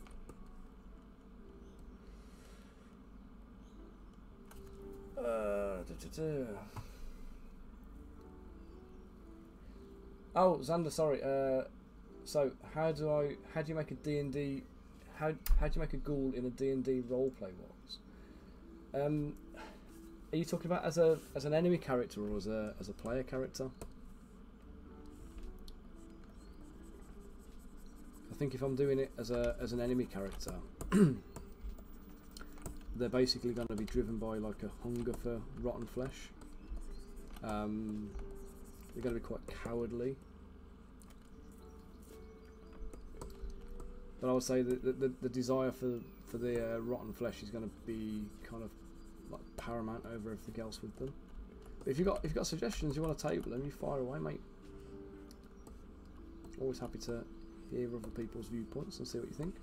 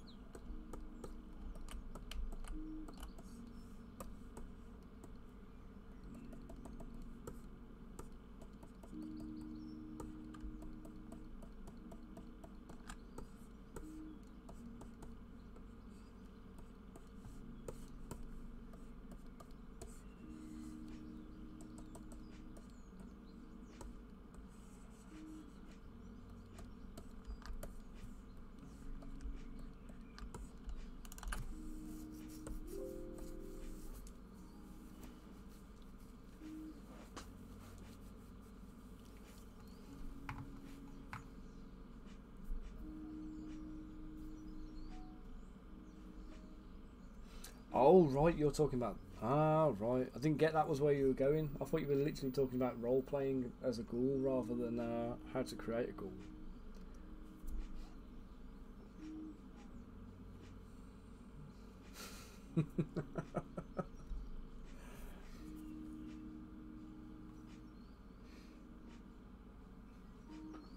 yeah, I've got a couple of cool ghoul characters I've got to make up soon.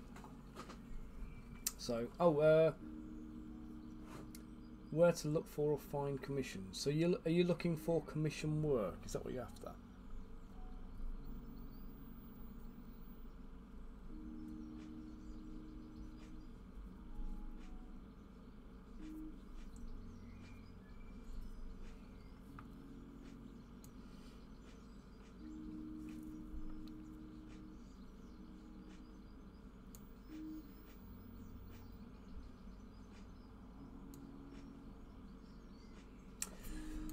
Oh, it's a tricky question because it.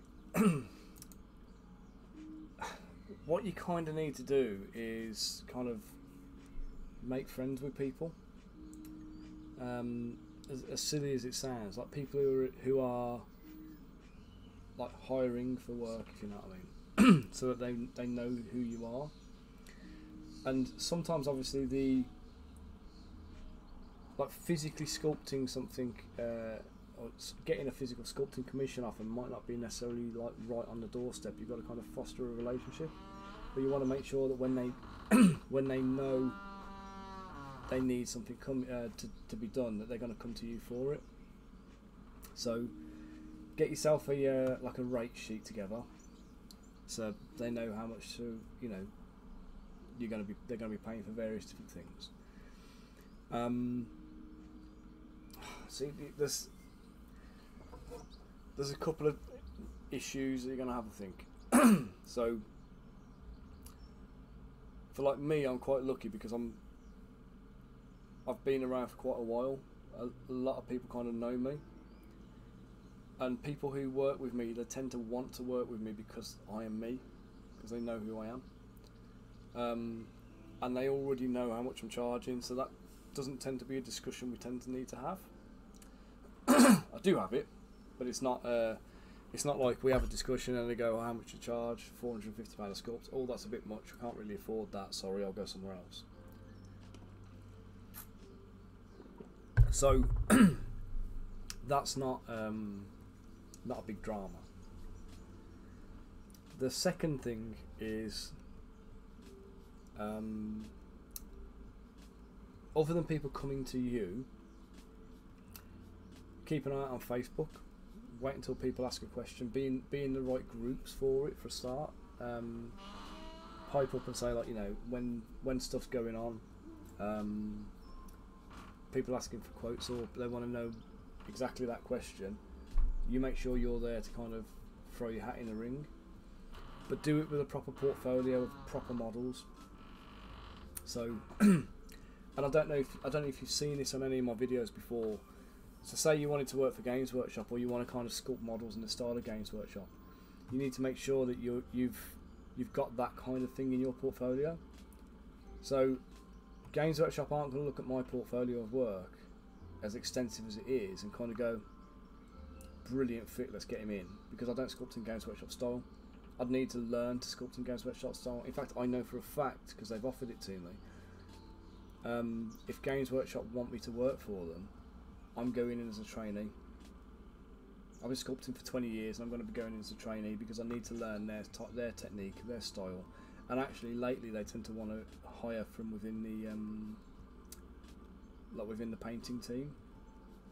So we see people like Darren Latham becoming sculptors because he's a miniature painter. So, oh, I've not seen that before.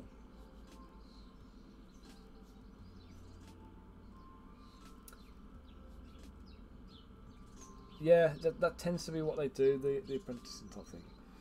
One area I think you'll absolutely nail it in, if it's of in interest to you, um, is historical miniatures. So there is a massive, massive shortage in the industry of people look, uh, of of historical sculptors. Um, I get asked for it a lot, and for certain people, I'll take it on, but it comes with its own fair share of headaches because you can't wing it, you can't guess, and you can't get it wrong. So I did a shield for Footsore. It was a Spartan shield, and they sent me various bits of reference, and I used various bits of my own that I found. Um, and I did an Athenian shield, and I did a, a Spartan shield for the Mortal Gods release. And it was both the same shield blank template I'd made, with the crest on there. So the Athenians had the owl, and the Spartans had the upside down V. Now, when I was looking at it, I put I saw a, a, shield with a Spartan thing. It had rivets around the outside. And I thought, oh, that's pretty cool. I'll do that. So I did like a, a ring of rivets around the outside of the shield. Um,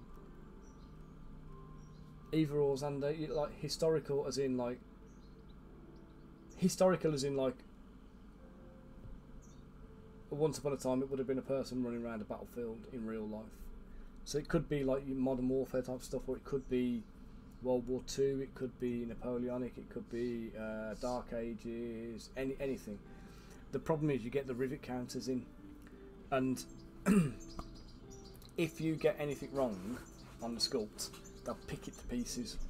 They'll literally pull it apart. And I was told I had to take all the rivets off the shield. Oh, cheers, mate. I'm gonna have to knock off in a sec. I've overrun anyway, but um, save it. What's that? Save it. I know what you meant.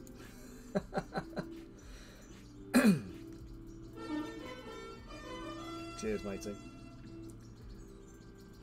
So yeah, so like the whole thing, the whole thing with the historicals is like, if if I'd have put that shield with the rivets in and I'd, I'd accepted it and gone with it, um, like people would lose their minds over it, and it's it's ridiculous. But like stuff like that, you've got no no room for error for and I was doing this, the scenery for the Barons War, and honestly, we had we had conversations cropping up, which were like they just they blew my mind, if I'm honest, because we were talking about Dark Age buildings. Um, so I sculpted a whole Dark Age village for them, and people turned around and went, "Oh, that's not historically accurate." Like, how the bloody hell do you know were you there? Because like you know, telling me the roof's wrong on it. It's like, how can you know the roof is wrong? It was thatched. There is literally no thatch that survives from the Dark Ages period. This is the 1400s. It's like, was that, 700 years ago? 600, 700 years ago? Do you know what I mean? It's like, there is literally no physical evidence to say that what I've done is wrong. Um, there's photos and there's historical recreations and stuff like that, but they're all they're all other people's interpretations of what they thought it might have been at the time. So you even get those kind of arguments going on, and it's like you can't even really make that argument because it doesn't make any sense.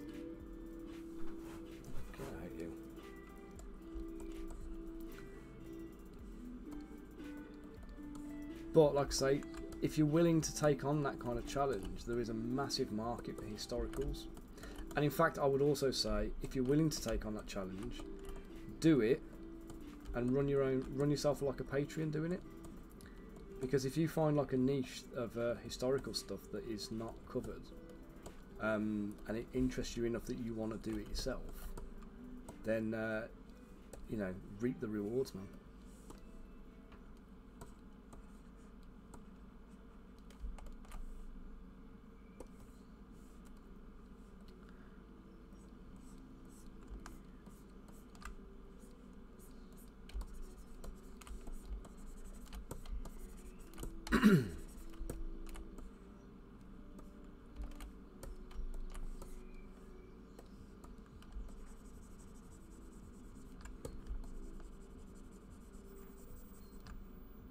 No worries, man. So, do make sure you're in the uh, Discord server. And if you want to chat about anything anytime, don't wait till I'm on stream. You can just ping a message in there. I'm always happy for like a little chin wag, a little chat, offering some advice. I mean, I've made a shit ton of mistakes over my uh, my career. I would rather tell you about them and share the experience so you can learn from them, rather than having to go through the headaches and do it yourself.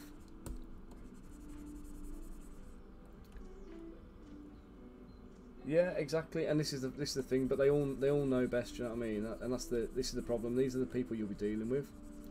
So you haven't really got room for much in the way of um, manoeuvring, unless you do. Um, what do you call it? Something that's more inspired by history.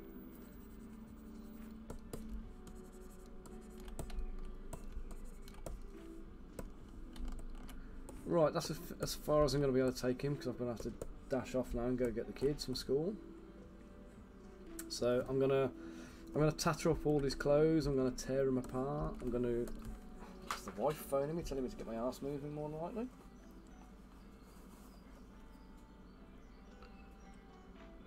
Yeah, I've definitely got to get going because I'm to be there at three o'clock. So. Right then, guys, it's been lovely speaking to you all. Thank you all for your time. Thank you for joining me today. Thank you for keeping me company and for the chats and the chin wags. Xander, I've done nothing but hydrate. I'm bursting for the loo. I'm going to have to leg it to the toilet before I uh, go and pick the kids up. So, guys, have a fantastic day. Uh, I won't be around tomorrow on stream. Um, I may be on Friday. I'm not 100% certain yet. Monday, I think, will be my next stream, and I'll be doing a Nanolith special. So if you fancy a bit of cyberpunk action, I'm going to put an, a, a, a, Facebook um, Facebook ad up. Um, not an ad, a Facebook uh, event, just to kind of like queue it up so we can share that and get some uh, viewers on it. But I'll be doing that for the guys at Nanolith, so they've got a couple of boss creature STL files to share with uh, the backers. So tune in on Monday for some cyberpunk goodness, uh, and otherwise, in the meantime, I'll be around on Discord, so um, I'll speak to you guys then. Guys, I'm not going to be able to raid out today. I'm just going to uh, run because I'm going to be late for picking up the kids. so, thank you all again, and I'll uh, catch up with you later. Right, later, taters. See you later. Bye.